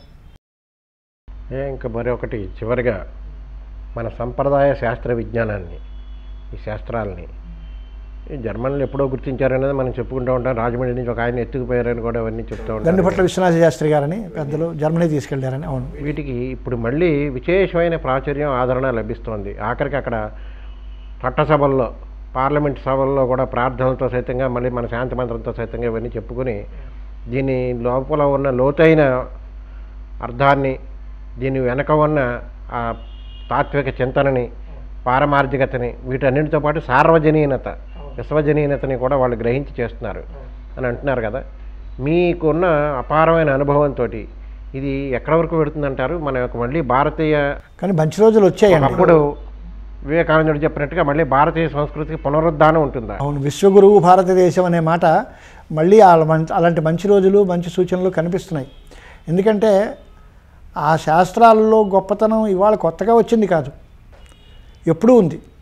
కానీ దాన్ని గుర్తించడంలో కొంతమంది మధ్యలో కొంత అశ్రద్ధ వహించడం వల్ల దాన్ని పట్టించుకోకపోవడం వల్ల మధ్యలో ఏర్పడింది కానీ దాని యొక్క గుర్తింపు దాని యొక్క గౌరవాన్ని దాని యొక్క ఉపయోగాన్ని అది సమాజ కళ్యాణానికి వాటి చేసేటువంటి మేలుని ఇవాళ గుర్తించినటువంటి వాళ్ళ పరిస్థితి ఉంది కనుక దేశ విదేశాల్లో అంతర్జాతీయంగా కూడా దీని మీద అనేక రకాలైనటువంటి చర్చలు వాదోపవాదాలు గోష్ఠులు అన్నీ జరుగుతున్నాయి. దీని వ్యాప్తికి విశేషమైన కృషి కూడా జరుగుతోంది. చేత రా రానున్న కాలంలో మన భారతదేశం అందరికీ గురుస్థానంలో ఉంటుంది అందరికీ విద్యాబుద్ధులకి మొట్టమొదటి దేశం అనే మాట మనం ఎప్పుడైతే అనుకుంటున్నామో అది మళ్ళీ మన కళ్ళ ముందు సాకారం అయ్యే పరిస్థితి ఉంటుందనే నేను అనుకుంటాను. ఏతద్దేశ ప్రసూతస్య సకాశాద్ అగ్రజన్మన స్వం స్వం చారిత్రం శిక్షేరన్ పృథివ్యాం సర్వమానవాహని ఆనాడు మను అన్నాడు. ఇవాళ మనుశాస్త్రం అంటే పక్కన పెట్టే రోజులు మనుషులు ఉంటారనుకోండి అది వేరే విషయం. అంటే పృథివీ మండలంలో ఉన్న సమస్త మానవులకి కూడా జ్ఞానో జ్ఞానోపదేశం చేసి మార్గం చూపించే స్థాయిలో భారతదేశం ఉండేది. అది మళ్ళీ అదే గౌరవాన్ని మళ్ళీ నిలబెట్టుకుంటుంది. అలాంటి మంచి రోజులు మనకి మళ్ళీ వస్తాయి అనేటువంటి ఒక ఆశ దానికి తగినటువంటి వాతావరణం కూడా కల్పిస్తున్నారు. అన్నిటికీ ప్రధానంగా సంస్కృతాధ్యయనం దూరం అయిపోతే ఇవంటికి దూరం అయిపోతాం సంస్కృత భాష మీద మమకారం పెంచుకునేటువంటి పరిస్థితి రావాలి. మనకుండే భాషా సమస్యల వల్ల తెలుగు ఇంగ్లీషు హిందీ కన్నడ ఇలాంటివన్నీ ప్రాంతీయ భాషలు ఎక్కువ అవడం వల్ల సంస్కృతానికి తగినంత గుర్తింపు ఇవ్వలేకపోతున్నాం. ఆ ఎప్పుడైతే సంస్కృతానికి దూరం అయిపోతామో ఈ మూల గ్రంథాలకి దూరం అయిపోతాం. దానివల్ల ఈ ఒక గ్యాప్ ఏర్పడింది. మళ్ళీ సంస్కృత భాష ప్రచారానికి అటు కేంద్ర ప్రభుత్వము ఇటు సా- సామాజిక సంస్థలు కూడా మంచి నడుం కట్టుతున్నాయి కనుక మళ్ళీ సంస్కృతాభివృద్ధి సంస్కృతి అభివృద్ధి. ఒక మాట పెద్దలందరూ చెప్పే మాట ఉంది భారతస్య ప్రతిష్ఠే ద్వే సంస్కృతం సంస్కృతిస్తథా అని. భారతీయమైన సంస్కృతి సంస్కృత భాష. ఈ రెండే భారతదేశపు గౌరవానికి కారణాలు. మనం ఏదో బాగా సంపన్నులవనో లేకపోతే ఇక్కడెక్కడో పెద్ద పెద్ద అణ్వాయుధాల దగ్గర నుంచి తయారు చేస్తారని అది కాదు. శాంతిప్రియమైన దేశం. భారతీయ సంస్కృతి చాలా గొప్పది. సంస్కృత భాష అంత ఉన్నతమైంది. ఆ రెండిటి వల్ల ఈ దేశం గౌరవం ఇదివరకు నుంచి అలా నిలబడుతూ ఉంది. అదే నిలబెట్టడానికి ఇప్పుడు మనం కూడా అందరి దేశాలతోటి సుహృద్భావ వాతావరణంలో శాంతి కాముకులమై ఎటువంటి మారణ హోమాలకి అవకాశం ఇవ్వకుండా అశాంతికి ఉపద్రవాలకి అవకాశం ఇవ్వకుండా అన్ని రకాల శాంతి చర్చలతోటి శాంతి కార్యక్రమాలతోటి మన దేశం ముందుకెళ్తే భారతదేశం ప్రపంచానికే అగ్రగామిగా ఉండేటువంటి మంచి రోజులు మనం చూస్తామనేటువంటి ఆశ కూడా నాకుంది. ఈ మేము పిలిచిన వెంటనే రావడంతో పాటు మీతో విశేషాలన్నీ మాతో పంచుకుని మేము ఉన్న నేను తర్వాత మేము తలపెట్టిన ఈ రాజమండ్రి రోల్ మోడల్స్ అనే కార్యక్రమం మా సంకల్పం దిగ్విజయం కావాలన్న ఆశీస్సులు మీ దగ్గర నుంచి ఉంటాయి చాలా సంతోషం చాలా సంతోషం. మీరు సంకల్పం మంచిది యాంతి తెలియ న్యాయ ప్రవృత్తస్య తెలియంచోపి సహాయతాం అని రామాయణంలో మాట ఉంది న్యాయ మార్గంలో సంచరించేటువంటి వాళ్ళకి పశుపక్ష్యాదులు కూడా సహాయపడతాయట. దానికి ఉడత సాయమనో లేక విభీషణుడు సాయమనో రకరకాలుగా రామాయణ కథలన్నీ గుహుడు ఇలాంటి చరిత్రలంతా చెప్తాం చేత మీ సంకల్పం మంచిది. ఈ ఊరు చరిత్రని కాస్త పది మందికి చెప్పాలి. భవిష్యత్తులో యువతరాన్ని ఆకర్షించాలి. వాళ్ళకి కూడా మంచి మార్గం చెప్పాలి అనే ఉద్దేశంతో చేసే ప్రయత్నం సత్ఫలితాలను ఇస్తుంది. అప్పుడు తప్పకుండా మీకు విజయం కలగాలని కోరుతున్నాను. దీనివల్ల వ్యక్తుల యొక్క ప్రచా ప్రచారం కోసం కాదు ఇది. ఒక మంచి అలవాటుని భవిష్యత్తు తరం ఎలాగ ఆదర్శం తీసుకోవాలి. ఇలాంటి మంచి గుణాలు మంచి అలవాట్లు ఉంటే ఎలాంటి గుర్తింపు సమాజం ఇస్తుంది అన్నంతవరకే తీసుకుని అలాంటి మంచి అలవాట్లు నేర్చుకుంటే మనం రామాయణం చదువుతాం రాముడిలాగా ఉండాలి అని. ఈ రోజుల్లో రాముడికి అపకారం చేసేటువంటి పరిస్థితులు కూడా వచ్చినా అది తాత్కాలికమే తప్ప ఎప్పుడూ రాముడు రాముడే. రామచరిత్ర ఎప్పుడూ ఆదర్శంగానే ఉంటుంది. అంచేత రాముడి గౌరవాన్ని ఎప్పుడూ ఎవరూ కాదనలేం. అంచేత తాత్కాలికమైన భావోద్వేగాలు కానీ చిన్న చిన్న వైషమ్యాలు కానీ ఏవి వచ్చినా అవన్నీ సమసిపోయి శాంతి ఆనందం ధర్మం ఎప్పుడూ శాశ్వతంగా ఉంటుంది. అలాంటి సనాతన ధర్మానికి పెద్దపీట వేసేది సాంస్కృతిక రాజధాని రాజమహేంద్రవరం కనుక దీని కీర్తిని ముందుకు తీసుకెళ్ళటానికి మీ వంతు మీరు కృషి చేస్తున్నందుకు మీకు అభినందనలు. మాకు అవకాశం ఇచ్చినందుకు ధన్యవాదాలు.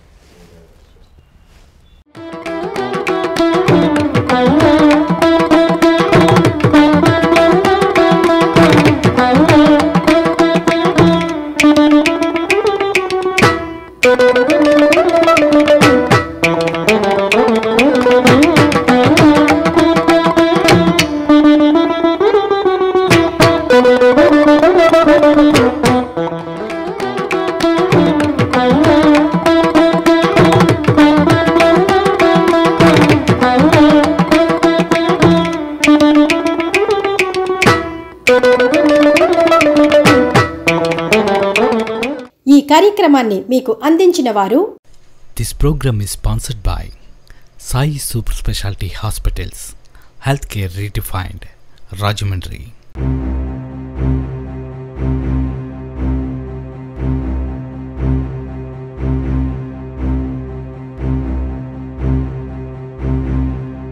When in emergency, Sai Super Specialty Hospitals, Healthcare Redefined, Rajamandri. ఇది రాజమండ్రిలో జిఎస్ఎల్ ట్రస్ట్ క్యాన్సర్ హాస్పిటల్. ఇక్కడ అన్ని రకాల క్యాన్సర్లను నిర్ధారించి నయం చేసే అనుభవజ్ఞులైన డాక్టర్లు ఉన్నారు.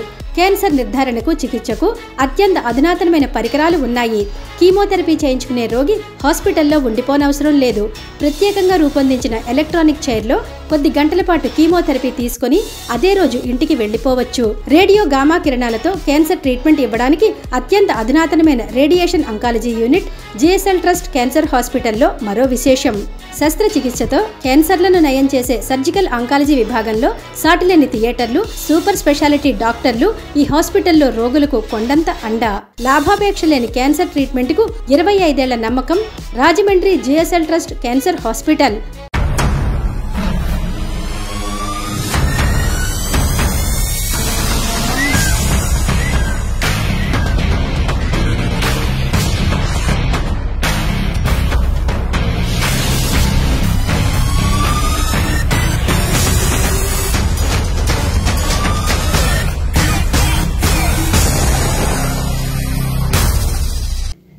Reddy hero main road T Nagar Rajahmundry. Cell double seven nine double seven double six three eight nine. Shanti PVC and HDPE pipes blue casing pipes Astral CPVC pipes gel Cera Shanti pipes tiles and sanitary Rangachari street T Nagar Rajahmundry. ఈ మోకాల నొప్పులతో నడవడానికి చాలా బాధగా ఉంది నీ replacement చేస్తే సరిపోతుంది. Sai super speciality hospital health care redefine Rajahmundry.